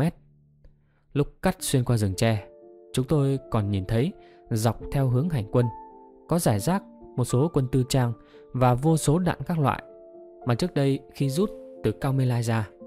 Anh em tiểu đoàn 3, trung đoàn 2 chúng tôi đã phải vứt bỏ lại dọc đường do đuối sức vì đã thiếu nước. Đợt đó, có hai đồng chí trong tiểu đoàn này đã chết khát dọc đường khi ra gần tới chỗ chúng tôi. Sự kiện này, anh em trong khẩu đội cứ nhìn nhau như thầm nhắc phải cố gắng hết sức mới mong vượt qua được chiến dịch đang còn nằm viết trước. Bên hướng Nam, phía trái đội hình hành quân của đơn vị, kể từ lúc xuất quân, thỉnh thoảng có nhiều tiếng hỏa lực vang lên, rền rĩ và trầm buồn khá xa. Nhưng cả đơn vị biết rằng, ở một mũi nào đó của chiến dịch, ta đã bắt đầu nổ súng và những âm thanh này khiến đơn vị chúng tôi càng thêm khẩn trương để vượt lên. Đến một ngã tư có đường xe khá lớn, dấu vết của thời kỳ khai thác gỗ xa xưa. Vì giữa mặt đường, các loại cây cũng đã chen nhau mọc nhiều. Nhưng do thân không lớn nên còn dễ phân biệt. Không biết đã đi được bao nhiêu cây số, cả đơn vị được lệnh dừng lại, tổ chức cảnh giới. Tiểu đoàn được lệnh tổ chức một bộ phận để bắt liên lạc với một đơn vị ở hướng Nam, khu vực Nam Sấp. Các bộ phận còn lại nghỉ ngơi tại chỗ, chờ lệnh tiếp theo. Chừng khoảng 2 tiếng sau, bộ phận đi bắt liên lạc quay trở lại và cho biết không bắt liên lạc vì địa hình quá rộng, không thể phát triển nhanh được. Hết một ngày, đơn vị vẫn nằm lại chờ lệnh đi tiếp vì ở Mê Lai trời tối rất nhanh. Tờ mờ sáng hôm sau, cả bộ phận khẩn trương thức dậy để hành quân tiếp. Dường như có sự chạch choạc nào đó trong hợp đồng giữa các hướng. Chỉ nghe bộ phận thông tin nhận lệnh oang oang giữa rừng già. Chỉ huy các mũi cứ đi tới đi lui. Ra điều rất cẩn trương lắm. Nhưng tới trường xuất phát thì phải đợi gần cả tiếng đồng hồ mới tới lượt khẩu đội cối 82 chúng tôi đứng lên đi. Khẩu lệnh truyền xuống khổ khốc. Chú ý mìn. Lên tí nữa đã thấy hình tượng của khẩu lệnh. Nhiều quả mìn được bộ phận đi đầu vô hiệu hóa. Thấy đẩy ra hai bên. Bên trong chừng vài mét là tầng tầng, lớp lớp, mìn dày đặc, răng ngang theo trục Bắc Nam. Những trái mìn rất mới, xanh thẫm, có lẽ mới bố trí cách đây không lâu. Khi ta bắt đầu lộ hướng chiến dịch, cả đội hình hành quân qua bãi mìn với tâm trạng căng thẳng tột độ. Do không còn có thời gian để cắt vòng tránh nữa, chúng tôi đành chọn giải pháp đi xuyên qua để đảm bảo thời gian triển khai. Mà mìn hướng này biết nó giải tới đâu mà vòng tránh. Không khéo lại rơi vào một khu vực địa hình phức tạp khác thì lại mất công nhỉ nhằng thêm. Từng bước, từng bước một, từng người, ai cũng tưởng chừng như nín thở để bước qua vài trăm mét của độ dày bãi mìn. Chỉ có những cái lược mắt của cán bộ chỉ huy khi thấy một đồng chí nào đi có vẻ chạch choạc. Bộ phận đi đầu chỉ có thời gian gỡ, mở chừng hai lớp mìn ngang trước mặt để làm lối đi qua. Còn lại tất cả những quả mìn chưa mất tác dụng, chỉ cách bước chân vài mét. Những quả mìn còn rất mới, thỉnh thoảng sáng lên theo ánh mắt nhìn. Khi có chút ánh sáng lọt qua kẽ lá. Bây giờ chỉ cần một cái vấp té, một đồng chí dẫm vài mìn hay đơn giản chỉ một cành cây khô rớt xuống cũng gây hậu quả nghiêm trọng. Cứ thế, cả đội hình hành quân qua, trong cảm giác thời gian như ngừng động lại. Cuối cùng thì chúng tôi cũng vượt qua lớp trở ngại thứ nhất. Lợi điểm của sự khắc phục khó khăn này lại là ta giữ được yếu tố bí mật. Khi bọn Pol Pot cứ dựa trên bãi mìn này để phòng ngự thụ động, không phát hiện ra ta. Không gian lúc này như rộng mở hơn. Địa hình cũng bớt rậm rạp. Vượt qua được một đoạn, đội hình được lệnh dừng lại để tổ chức thăm dò. Lần này, cối 82 được lệnh giá súng trong tư thế sẵn sàng chiến đấu. Các bộ phận đi giữa phải tổ chức cảnh giới ra hai bên. Cứ địch có vẻ như rất gần, vì bãi mìn thường nằm trong tuyến phòng ngự của chúng. Bắt đầu lại nghe tiếng đi đùng của hỏa lực bên hướng nam. Rộ lên một chập rồi im bặt. Đột nhiên, chúng tôi nghe vang lên nhiều tiếng hú ở phía trước. Nghe rất rõ dù chỉ văng vẳng xa xa. Liên lạc tiểu đoàn từ trên đi xuống thông báo. Bộ phận trinh sát phát hiện một con đường rất lớn, chạy dài từ hướng Tây Bắc xuống Đông Nam. Khả năng xuất phát từ Cao Mê Lai qua Nam Sấp. Nghe lệnh xong, tất cả các bộ phận trở nên khẩn trương, trộn rộn hối hả, theo lệnh nhận được của mình. Cối 82 chúng tôi lập tức chỉnh tầm hướng về phía địch, sẵn sàng chiến đấu. Do địa hình quá rộng xung quanh, để đảm bảo xạ giới không bị đạn nổ trên ngọn cây, chúng tôi phải cử người đu lên vít những cành cây hướng cần xạ giới cho ngã dạp xuống. Hình như có một chút hốt hoảng, vì đó ở phía trước, đột nhiên cả đội hình ùn ùn tháo lui trở lại. Anh em báo lại, ta nằm quá gần trục đường, sợ bị địch hành quân xuống phát hiện, nên phải lùi bớt về phía sau. Đợi tổ chức lại, riêng khẩu cối 82, chúng tôi quyết định vẫn nằm lại, vì xung quanh không còn chỗ nào để bố trí xạ giới tốt hơn ở đây. Lệnh của đồng chí Hiền bê trưởng. Tất cả những đồng chí mang đạn hỗ trợ nằm giải ra xung quanh để bảo vệ khẩu cối đặt ở giữa. Sau một thời gian ngắn tổ chức nắm tình hình, tiểu đoàn liền ra quyết định triển khai đội hình phục kích dọc trục đường này, sẵn sàng đón đánh bọn địch hành quân qua. Đại đội 5 triển khai bên phải, đón hướng Mê Lai xuống. Đại đội 7 bên trái hướng Nam sắp qua. Ở giữa lùi về sau một đoạn là bộ phận trinh sát. Sâu một chút nữa là bộ phận thông tin và bộ phận chỉ huy. Riêng đại đội 6 làm bộ phận dự bị, bố trí nằm ở phía sau. Do đặc điểm địa hình như từ đầu đã phân tích. Vô tình, khẩu đội cối 82 lại bố trí phía sau đại đội 5, cách trục đường khoảng 50 mét. Giữa lúc các bộ phận còn đang loay hoay bố trí đội hình của mình, khẩu đội cối của chúng tôi cũng tranh thủ cắt ra trục đường để nắm lại khoảng cách. Một con lộ đất lớn nằm ngay trước mặt, cách vị trí bố trí của chúng tôi không xa. Mà khi mới chớm bước ra nhìn, thấy rất lạnh. Bỗng tổ cảnh giới đại đội 5 khoác tay ra hiệu. Địch! Chỉ kịp nhìn về hướng Mê Lai, xuống một tốp địch đi xanh rì. Chúng tôi lập tức rút về khẩu đội. Trong lúc này, hầu như cả đội hình chưa bộ phận nào kịp triển khai xong. Toàn bộ đội hình lập tức trở nên im lặng. Nhiều bộ phận vẫn chưa triển khai kịp đội hình, vẫn phải chịu nằm im. Tất cả đều nằm trong căng thẳng chờ đợi. Nhiều đồng chí còn chưa kịp hiểu chuyện gì đang xảy ra. Đúng là sự bất lợi của việc tác chiến trong rừng rậm với một đội hình khá dài. Chỉ có phía trước là nắm được vấn đề. Còn phía sau, nhiều đồng chí nhìn thấy anh em phía trên nằm im thì cũng nằm im theo. Chứ thật sự chưa biết tại sao lại như vậy. Được chừng 5 phút, cả đội hình bắt đầu nghe nhiều tiếng xôn xao ở phía trên. Rõ dần rồi trở nên ồn ào như cái chợ.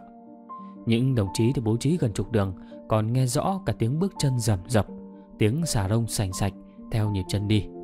Không hề nghĩ là ta sẽ tiến đánh từ hướng này, nên chúng có vẻ rất chủ quan. Vừa đi vừa trò chuyện thật rôm rả. Tiếng nam nữ rộ lên từng chập, nghe rất vui.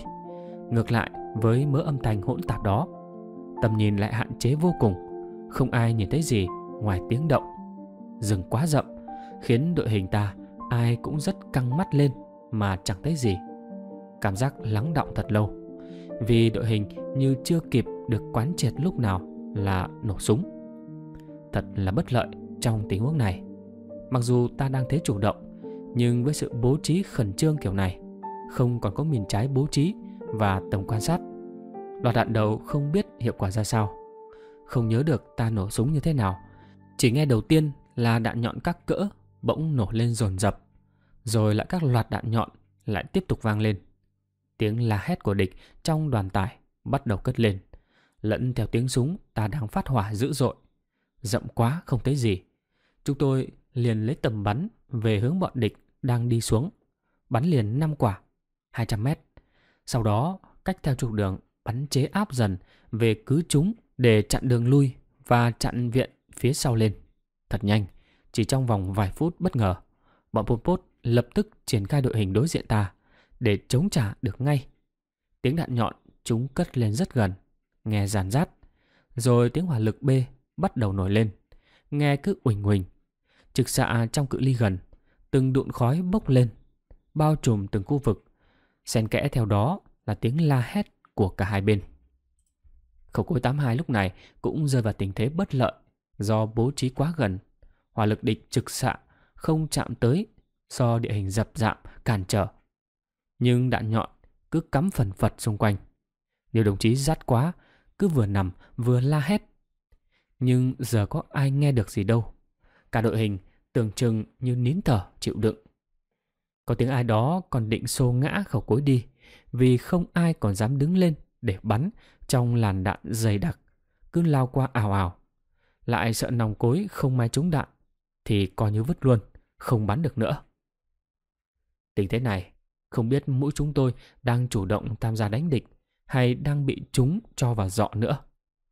Xét về mặt tác chiến, nếu đây là một trận vận động phục kích với một bài bản có sẵn và mìn trái bố trí từ trước, bọn địch này sẽ bị tiêu diệt ngay từ loạt nổ súng đầu tiên. Còn hiện tại, chúng tôi lại bị rơi vào thế tiến thoái lưỡng nan. Khi đột ngột chuyển sang trạng thái từ hành quân đánh cứ sang phục kích tụ động, mà đội hình chưa kịp triển khai xong. Nỗi bất lợi chết người nữa là chúng tôi lại nằm trong một khu vực quá rậm rạp, chỉ có đạn nhọn là nổ súng được, còn các loại B gần như không phát huy. Sau trận đánh này, kiểm tra đội hình thì thấy nhiều khẩu trung liên RBD của ta cứ nhằm vào các gốc cây to phía trước mà bắn, dẫn đến không tiêu diệt được bọn địch đang đi soát vào ngoài. Nhờ yếu tố này, một số địch chạy thẳng theo trục lộ thoát. Bọn còn lại thì tổ chức giạt qua bên kia đường, triển khai dùng hỏa lực có được khoảng trống của trục đường, tổ chức bắn phản kích ta dữ dội. Tiếng bọn chỉ huy, chúng gào thét, huýt còi, nghe rất ấn tượng. Nhưng cũng thật nhanh. Toàn bộ đội hình của chúng tôi, gần như một lúc, không ai bảo ai, lập tức dồn dập hô xung phong, ôm súng đứng lên lao ra trục đường. Dường như ai cũng hiểu, có như vậy mới phá được cái thế chịu trận ngay từ đầu. Thoát ra khỏi tình huống bất lợi cho cả đơn vị, chỉ trừ hỏa lực và bộ phận phía sau. Tất cả các mũi nhanh chóng xung phong ra mặt lộ, truy quét bọn cầm cự, khiến chúng lập tức phải rút lui. Khẩu đội cối 82 của chúng tôi cũng nhắm qua bên kia đường, bắn như dựng nòng để yểm trợ. Nghe rõ cả tiếng xèo xèo của đạn rơi nổ phía bên kia. Lúc này, chỉ thỉnh thoảng mới nghe toàn toác, bắt liên lạc của những thằng pốt chạy lạc phía trước địa hình. Anh em bộ binh phía trước đã tràn ra hết ngoài trục lộ, quan sát, thăm dò kết quả trận đánh. Thật may, cho bọn Pol Pot, như từ đầu có nói, rừng rậm và những gốc cây to đã cứu mạng chúng. Như sau này về đơn vị họp rút kinh nghiệm, nhiều đồng chí đã thừa nhận do triển khai quá cấp dập, chưa nắm được địa hình, kết hợp với không quan sát được mục tiêu, chỉ căn cứ vào tiếng động để bắn, nên các loạt bắn của chúng ta hầu như không mang lại hiệu quả nhiều, dẫn đến đa phần bọn đi trong đội hình của bọn Pol Pot ngày đó đã chạy thoát. Chỉ còn lại những dấu vết lê lết của những con pốt nữ mặc xà rông trườn thoát. Rất nhiều đôi dép dâu và dép lào, khăn cả ma rơi rớt tại hiện trường.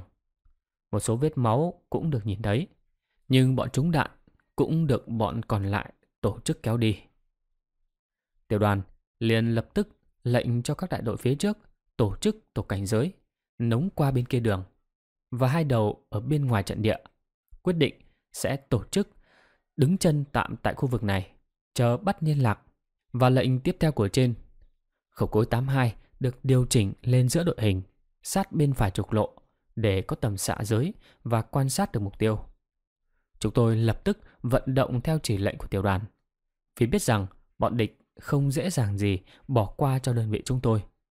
Khi đã lộ đội hình trong địa bàn của chúng, có điều sắp tới chúng sẽ phản ứng ra sao, từ hướng nào tới thì chỉ biết chờ đợi mà thôi. Khi đội hình bố trí theo kiểu phòng ngự giã chiến đã tương đối, các bộ phận lúc này mới thực sự được ban chỉ huy tiểu đoàn quán triệt cụ thể hơn nhiệm vụ của mình. Khẩu đội cối lúc này có tầm quan sát rộng hơn, suốt hai hướng trục đường lẫn các bộ phận bố trí bên kia đường của các đại đội. Vẫn là chờ đợi trong sự yên lặng thật khó hiểu. Chỉ còn bộ phận thông tin tiểu đoàn là nơi phát ra tiếng động ồn ào nhất. Không hiểu xài mạng sóng kiểu gì mà chiếc máy X71 của Trung Quốc, đơn vị chúng tôi hay gọi như vậy, cứ phát ra tiếng oang oang. Đến độ ban chỉ huy nhận được lệnh gì, các bộ phận ở gần cũng nắm được hết. Lúc này, chẳng cần đợi lệnh phát ra, nhiều đồng chí tranh thủ lấy bánh tét ra ăn để lấy sức cho nhiệm vụ sắp tới. Tôi cũng vậy, tranh thủ ăn vội khúc bánh tét và uống một ngụm nước là vào vị trí gần khẩu cối 82 của mình, ngả lưng một chút. Đột nhiên, bên kia đường, khu vực của đại đội 5 chốt chặn, tiếng súng bắt đầu nổ vang dữ dội. Phía trước trục đường, hướng mê lai xuống, bằng mắt thường cũng phát hiện ra nhiều tên địch men theo hai bên đường, thoát ẩn, thoát hiện, vận động xuống khá nhanh. Quân phục Gabardine sành mới, bộ phận án ngữ hướng này lập tức nổ súng. Khẩu RBD của ta vận động ra chốt giữa đường, bắn từng loạt ngắn, ngăn chặn bọn nóng xuống. Một xạ thủ B40 ngồi ngay mép trái đường, phát hỏa, liền một trái về hướng đó tiếp theo. Khói bốc lên mịt mù, khiến từ vị trí khẩu cối chúng tôi đặt ở phía sau, nhìn lên chẳng thấy được gì. Không gian bố trí trở nên bó hẹp. Nhưng đồng chí Hiền bê trưởng cũng kịp chỉnh tầm bắn, bắt đầu bắn lên chỉ viện. Sau loạt đạn thăm dò, lập tức chúng tôi nghe xung quanh có nhiều tiếng bê bắn cầu vòng về hướng chúng tôi bắt đầu khai hỏa. liền sau đó là những tiếng rít vang lên trên đầu, những tiếng xoẹt ngắn kèm theo những tiếng nổ đanh giòn. Cứ đan xen từ mọi hướng, đa số rớt vào đội hình C6, C7. Từng đám khói xám bốc lên mù mịt sau mỗi tiếng nổ. Cầu đội cứ hụp xuống rồi ngóc đầu lên nhìn. Cơ số đạn mang theo lúc này chỉ dành cho chi viện, các đại đội bộ binh ở phía trên.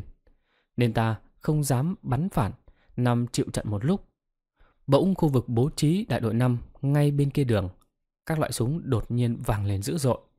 Tiếng đạn rít lúc này còn căng hơn đợt chúng tôi phục kích trước đó. Tiếng hỏa lực trực xạ bùng bình cũng vàng lên liên hồi. Gần như toàn tuyến bên kia đường đều bị vây đánh. Lúc này, dù thật rát, cả khẩu đội vẫn lập tức sát lại. Cùng nhau di chuyển hướng nòng cối về hướng C5. Trong khoảng cách bên đây, bên kia cũng chỉ tầm 20 mét. Chỉ bỏ được chừng hai quả vào nòng, chưa kịp nghe được tiếng đạn nổ. Phía trục đường hướng Mê Lai từng chùm đạn lửa cứ xuyên qua khói lửa lao ảo ảo về phía sau dù đã chuẩn bị tinh thần trước nhưng chúng tôi cũng không ngờ mức độ phản kích lại ác liệt đến như vậy địa bàn hoạt động của nó địa hình của nó nên có cơ động rất nhanh và triển khai vây lấn ta khá dễ dàng chỉ trong một thời gian ngắn nổ súng chúng đã tổ chức vây lấn ta từ hai hướng hướng bên kia trục đường khu vực do đại đội 5 giải quân chốt giữ, gần như bị đánh trên toàn tuyến. Hướng do đại đội 7 chốt chặn từ Mê Lai xuống cũng bị chúng tiếp cận đánh mịt mù. Dù xét ra hướng đại đội 5 gần khẩu cối hơn.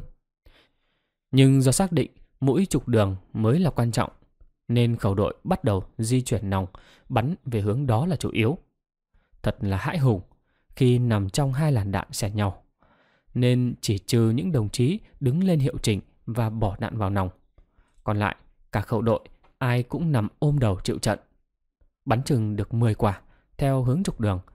Đột nhiên, bên kia đường, tiếng huýt còi vang lên, thật dồn dập. Tiếng súng bắn về phía ta, bỗng trở nên quyết liệt. Một số anh em bỏ vị trí, lui về qua bên đây đường, mới nằm xuống nổ súng chống trả. Từ vị trí khẩu cuối 82, cả khẩu đội chúng tôi còn kịp nhìn thấy một số tên Pol Pot xuất hiện ngay bên kia đường. Đồng chí B trưởng liền ra lệnh cho số anh em mang đạn nổ súng ngăn chặn địch. Còn đồng chí lập tức đạp ngả khẩu cối 82 cùng các đồng chí khác tháo rời lui về phía sau.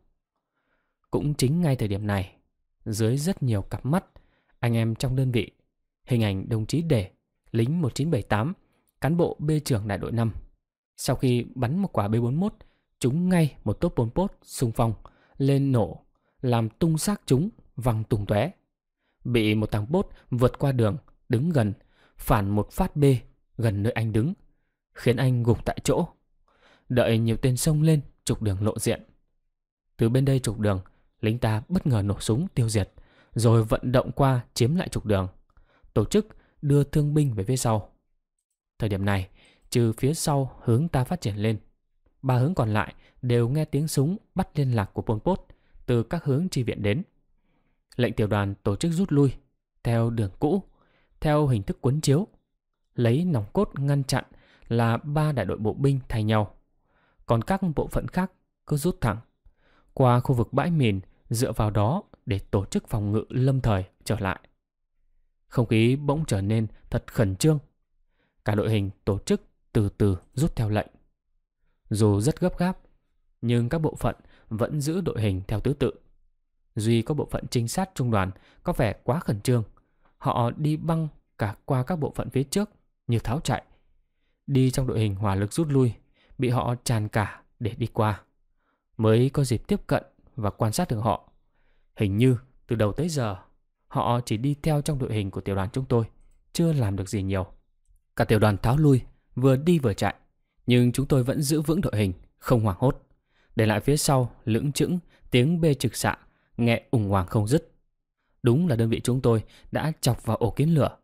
Bình thường, với một đợt hoạt động được 80 tay súng đã là một niềm ấm cúng và vững tin với người lính như chúng tôi.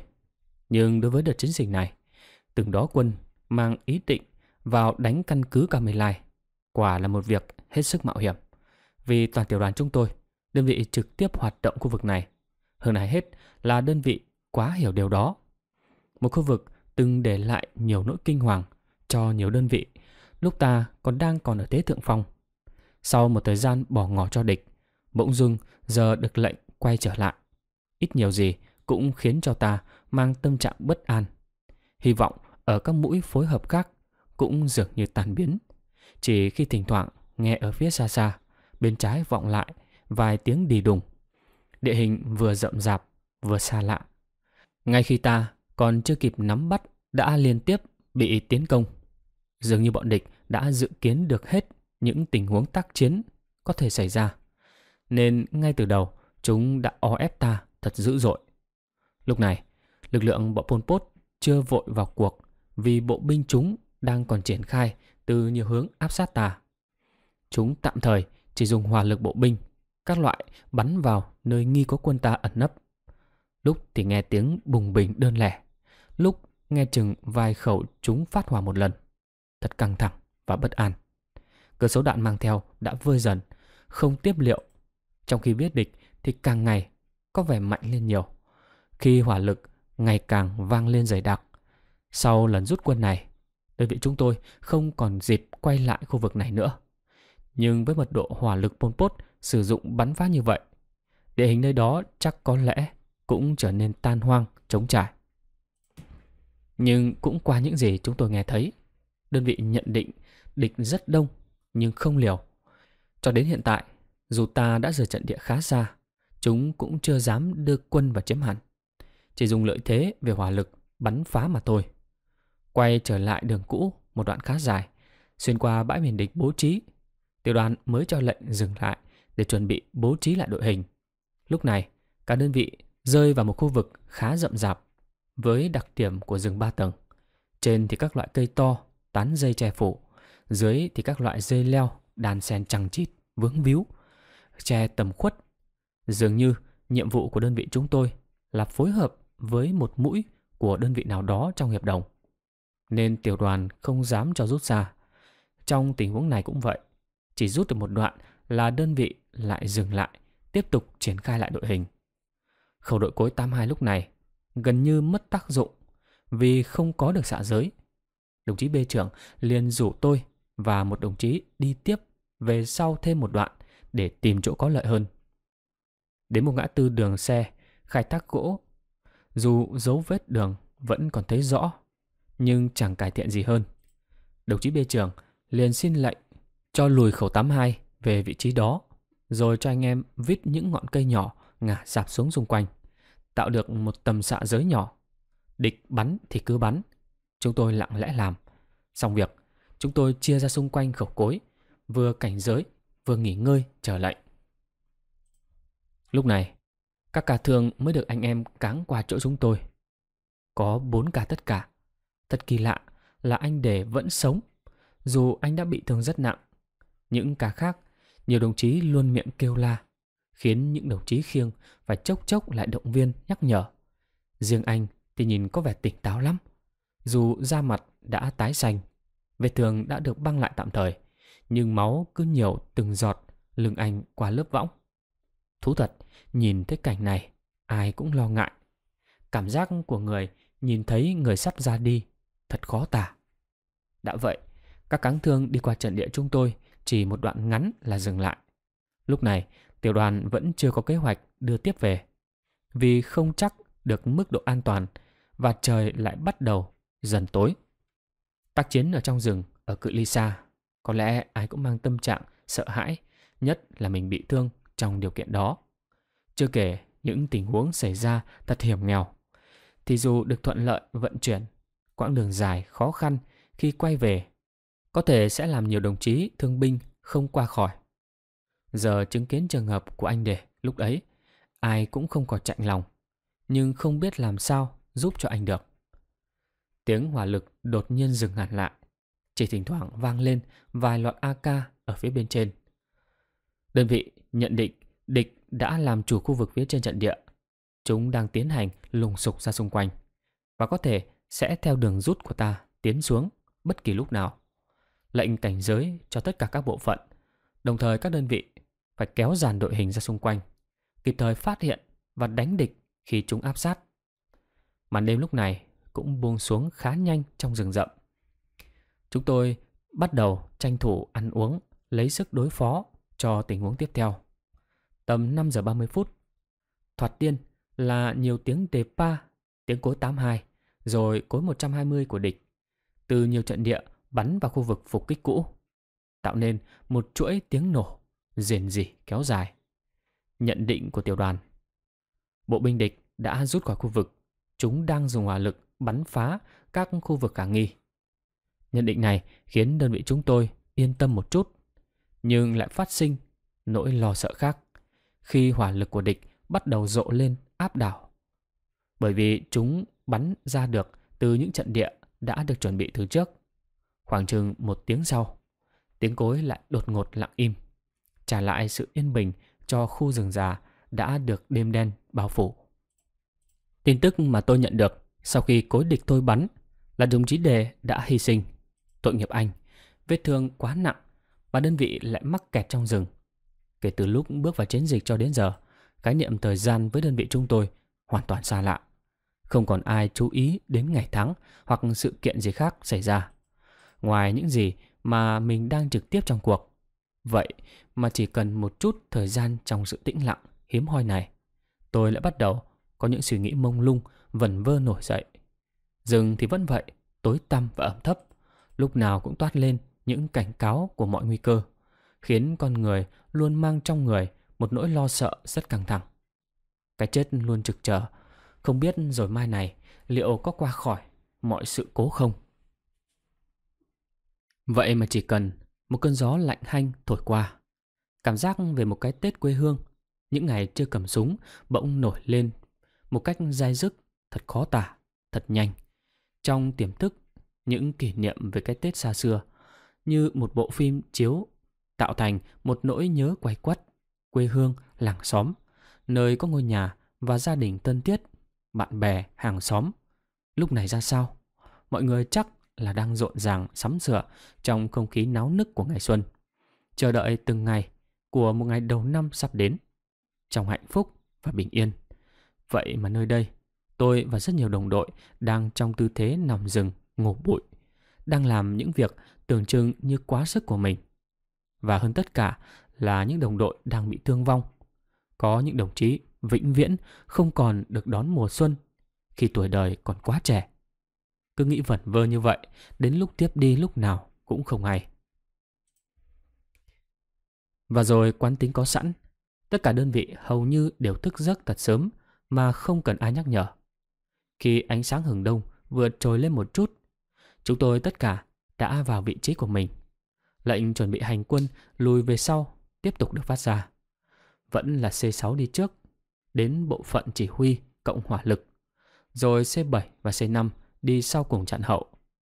Khi các bộ phận lục đục tập kết ra trục lộ để chuẩn bị hành quân, hướng đại đội 5 bỗng vang lên tiếng nổ lớn, vang động cả khu rừng. Lập tức, tiếng đạn nhọn rộ lên dữ dội, xèn kẽ có tiếng B vang lên.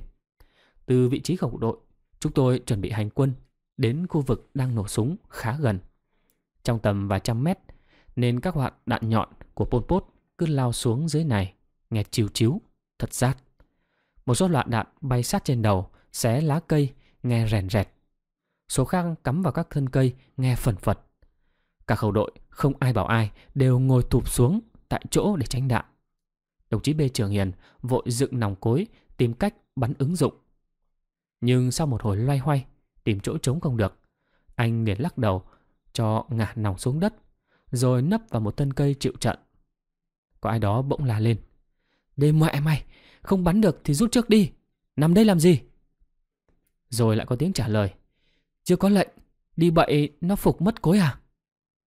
Phía trên trận địa, cách đại đội 5 chạm địch có vẻ ác liệt. Căn cứ vào mật độ đạn Pol Pot bay xuống dưới này. Đơn vị xác định lực lượng Pol Pot đánh xuống rất đông. Dù tầm đạn khá cao, nhưng tiếng rít của chúng khá uy hiếp. Nhiều đồng chí lá cây bị bắn rát rơi xuống phủ đầy đầu. Rát quá! Tôi vừa thoáng suy nghĩ trong lòng, thì có lệnh khẩn trương rút quân. Tình huống là trong lúc đại đội 5 đang vẫn còn triển khai chốt chặn cho các bộ phận rút trước, thì bọn Pol Pot phát triển, truy kích xuống, đá phải quả liều đạn gài của ta từ tối hôm qua.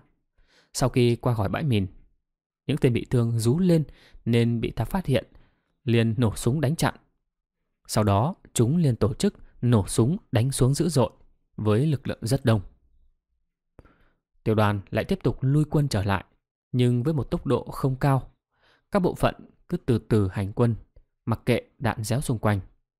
Trong khi ban chỉ huy đại tiểu đoàn vẫn chậm chậm đi ở phía sau. Thỉnh thoảng còn dừng lại liên lạc, báo cáo tình hình về trên trong tư thế thật bình tĩnh. Hành động chỉ huy này khiến anh em rất ấn tượng và tự nhiên ai cũng cảm thấy một cách cảm xúc thật tin tưởng dâng lên trong lòng, khiến bước chân đang hành quân cũng trở nên vững chãi hơn nhiều. Nhưng rất tiếc, bộ phận trinh sát trung đoàn thì không được như vậy. Thay vì đi chung với bộ phận chỉ huy, họ cứ đi bươn qua các bộ phận đi trước, như là Pol Pot đã truy đuổi sắp đến nơi vậy. Đúng là thật khó để giữ được bình tĩnh trong tình huống này. Nếu không giữ được tính đoàn kết, khăng khít và sự tin tưởng sống chết với nhau, bản năng sinh tồn sẽ khiến người ta tìm cách tránh xa vùng nguy hiểm, càng xa càng tốt. Chúng tôi cũng cảm thấy cảm thông trong tình huống này, nên không ai nói gì, mặc dù vẫn thoáng thấy khó chịu. Tiếng súng bỗng ngừng, rồi lại rộ lên. Chúng tôi cứ rút đi, không biết tới lượt xe nào đang chạm địch. Đến một khoảng thời gian khá dài, đi được không biết bao nhiêu cây số, bỗng ở phía sau, hướng cứ tiểu đoàn, vang lên những tiếng đề pa rất lớn. Theo sau liền là tiếng đạn rít trên đầu, rơi về phía địch tạo thành những tiếng nổ đanh giòn, rồi cấp tập hàng loạt tiếng nổ vang rền. Đội hình chúng tôi đang đi chựng lại. Tiểu đoàn thông báo, pháo sư đoàn bắt đầu bắn chi viện. Khi ta đã lùi về phía trong tầm pháo, lúc này chúng tôi mới biết sư vừa điều hai khẩu 105 vào bắn chi viện cho mũi chúng tôi. Tình hình bắt đầu có sự thay đổi. Bọn Pol Pot truy đuổi lập tức dừng lại, không truy quét theo ta nữa. Lệnh của tiểu đoàn, đội hình dừng quân, tổ chức phòng ngự trở lại chờ lệnh tiếp. Chỉ có bộ phận vận tải và tiếp tục khẩn trương đưa thương binh tử sĩ về căn cứ của tiểu đoàn. Lúc này, cứ tầm khoảng 15 phút, pháo binh lại bắn về phía địch và vài chục quả pháo. Theo yêu cầu của ban chỉ huy tiểu đoàn, cả đơn vị lại lấy lại khí thế sẵn sàng nhận nhiệm vụ tiếp theo. Đến tầm 10 giờ trưa hôm đó, qua triển khai nhiệm vụ, chúng tôi được quán triệt do lộ sớm và chưa bắt được liên lạc với các mũi theo yêu cầu.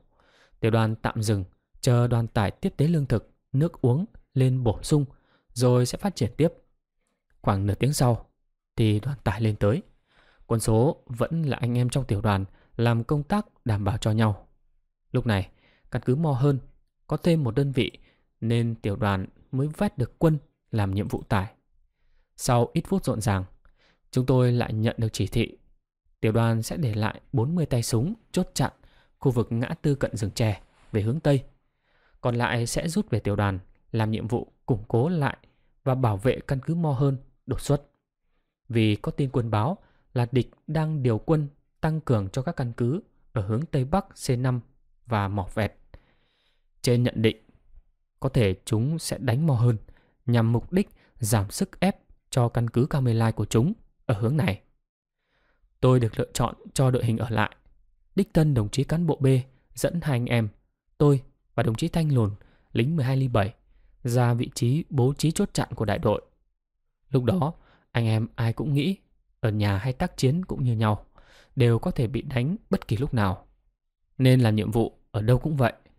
Nhưng thật bất ngờ, khi tiểu đoàn bắt đầu rút quần hết, chúng tôi mới phát hiện ra bộ phận được cử lại chỉ có 8 tay súng mà thôi. Tính từ tâm ngã tư đường xe, vị trí chốt chặn, cứ mỗi đầu đường về bốn hướng, cách 50 mét, chỉ có hai đồng chí với một khẩu AK-9 băng và một RBD 5 nồi. Ngoài ra, bộ phận vận tải cũng mang lên cho một tổ một quả DH-10, bố trí phía trước chốt của mình. Cảm giác bị lừa khiến anh em thật bất mãn. Nhưng trước mắt phải tìm cách bảo toàn tính mạng, không để bị mang tiếng không hoàn thành nhiệm vụ, khiến ai cũng dẹp bỏ bất mãn qua một bên. Mới đầu, thật sự anh em cũng rất sợ, vì những trận đánh với địch vừa mới xảy ra đây thôi, chưa lâu lắm. Giờ không biết chúng sẽ mò xuống vào lúc nào. Về phía ta, với lực lượng như thế này, sẽ chiến đấu với chúng ra sao đây? Trong tình huống địch quá đông, ta không giữ nổi, thì sẽ rút ra sao? Bao nhiêu câu hỏi được đặt ra, nhưng không có phương án nào đáp ứng cụ thể. Đợi đội hình bố trí của bốn tổ như sau. Đại đội 5, hai đồng chí chốt hướng Tây, hướng Cao Mê Lai xuống. Đại đội 7, hai đồng chí chốt hướng Nam, hướng Nam Sấp. Đại đội 6, hai đồng chí về hướng tiểu đoàn lên. Đại đội 8 của tôi, hai đồng chí chốt về hướng Bắc. Cả bốn tổ đều chỉ có một AK và một RBD với cơ số đạn như đã kể. Chắc tại tiểu đoàn xác định với địa hình rậm rạp kiểu này, B40 không có lợi thế trong sử dụng nên không cần thiết. Mới đầu, khi phát hiện sự thể, anh em ai cũng lo sợ. Nhưng sau khi bình tâm, thấy nếu biết đoàn kết, kết hợp dựa vào địa thế và hỏa lực pháo chi viện, địch cũng không dễ gì đánh bước ta. Gần tối, tổ của C6 bắt đầu rút lên ngay tâm ngã tư đường, tạo thành đội hình rẻ quạt. Lúc này, thêm một khó khăn nữa là với kiểu bố trí thế này thì anh em gác sách làm sao? bản qua tính lại. Cuối cùng, chúng tôi quyết định cứ giữ đội hình không còn lại để phòng địch áp sát. Bất ngờ, hừng sáng đánh ta không kịp trở tay. Vậy là tối hôm đó, ai cũng mơ màng, không tài nào ngủ được, do vừa sợ vừa lạnh. Sáng hôm sau, chờ cho trời sáng hẳn, không nghe động tĩnh gì, tôi mới mò xuống tâm ngã tư để quan sát toàn bộ khu vực. Một khung cảnh thật buồn cười. Khi ngay tại ngã tư, một gian hàng xén, hàng mấy chục đòn bánh tét tải lên cho cả tiểu đoàn làm lương thực tham gia chiến dịch, bị bỏ lại, treo từng trụ lên các nhánh cây lủng lẳng.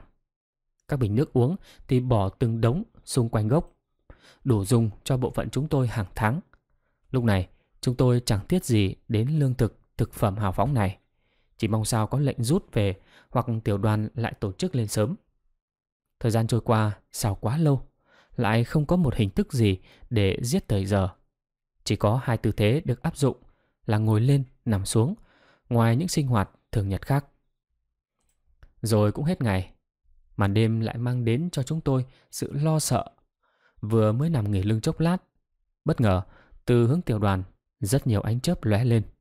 Theo sau là tiếng hỏa lực nổi lên liên hồi vang động. Địch tập kích tiểu đoàn rồi. Ban đêm, tiếng các loại hỏa lực nổ vang rền khủng khiếp. Từ vị trí chúng tôi đang ngồi, thỉnh thoảng trong ánh chớp còn thấy từng chùm đạn lửa nối đuôi nhau đan xen. Vậy là tin tức nhận định của trên thật chính xác. Các mũi hướng khác không biết thế nào. Còn ở hướng này, do không bị khống chế về hướng Thái, muốn bẻ gãy mũi tiến công của ta lên Mê Lai. Cách tốt nhất của địch là dùng lực lượng của những căn cứ cận biên đánh mạnh và mau hơn. Buộc ta phải lui quân về phòng thủ. Trận tập kích này nằm trong ý đồ như vậy, nên mật độ so với những trận khác lớn hơn rất nhiều. Tiếng rền rĩ của các loại hỏa lực trực xạ và cầu vòng cứ kéo dài không dứt. Lúc thì giải rác từng chập, lúc liên hồi, làm sáng rực cả một góc rừng trong đêm tối. May là đơn vị được tin và khẩn cấp quay về phòng thủ kịp thời. Nếu không, hai khẩu pháo của sư đoàn coi chừng sẽ gặp nguy hiểm. Thứ nữa, thường thì ban đêm bọn pốt chỉ đánh vào tầm trăng sáng. Lúc trăng vừa lên, để đánh xong thấy được đường về. Còn đêm nay là tầm 28 hay 29 Tết. Trời tối đen, nhưng chúng vẫn đánh. Chứng tỏ trận đánh đã được chúng định hoạch và chuẩn bị từ trước bằng một quyết tâm cao nhằm lôi kéo lực lượng của ta. trong cái thế hoàn toàn chủ động, nên đủ thấy mức độ trận đánh này ác liệt như thế nào. Đêm đó, dù trận đánh kết thúc đã lâu, nhưng chúng tôi không ai chập mắt, cứ nằm im, nhìn màn đêm mà suy nghĩ mông lung, lo sợ anh em ở nhà có ai bị gì không. Tình trạng đơn vị sau trận đánh sẽ ra sao? Còn nơi này ngày mai và những ngày sau sẽ như thế nào? Cứ như thế mà nằm nghĩ ngợi cho đến gần sáng. Vài ngày sau, lúc khoảng 8 giờ, một tổ công tác từ tiểu đoàn cắt lên ra lệnh cho chúng tôi rút quân về đơn vị. Kết thúc giai đoạn tiểu đoàn chúng tôi tham gia chiến dịch C81 hay còn gọi là C82 của sư đoàn. Có nhiều vấn đề đáng nói. Nhưng đối với tiểu đoàn chúng tôi, đợt tham gia chiến dịch này hình như là thất bại. Bởi vì xét về mặt hiệu suất, ta đạt được không cao. Mọi hoạt động gần như là bị động hơn là chủ động. Có lúc chúng tôi có cảm giác từ quan đến lính hình như hơi bị mù mờ về nhiệm vụ của mình. Đúng hay không? Đến giờ bản thân tôi chưa có lời giải đáp. Ngay cả cục diện toàn cuộc của sư đoàn chúng tôi cũng không biết gì nhiều. Phía địch thì không nắm nó thiệt hại ra sao. Phía ta thì thương vong cũng khá lớn. Sau này, trí nhớ hơi mai một chút, không chính xác lắm. Tôi nhớ hình như sau chiến dịch này, đơn vị tôi được cấp phát cho hai bộ quần áo ngắn, chiến lợi phẩm của đơn vị, thu được của bọn Pốt thì phải. Áo may theo kiểu sơ mi ngắn tay, quần cụt bằng vải màu xanh lá rất bền. Mới đầu chỉ dám mặc trong đơn vị, sau này quân phục rách quá. Anh em cũng mặc đi tải hoặc làm nhiệm vụ thông đường. Nhưng đi phục kích hoặc tập kích cứ của chúng thì không.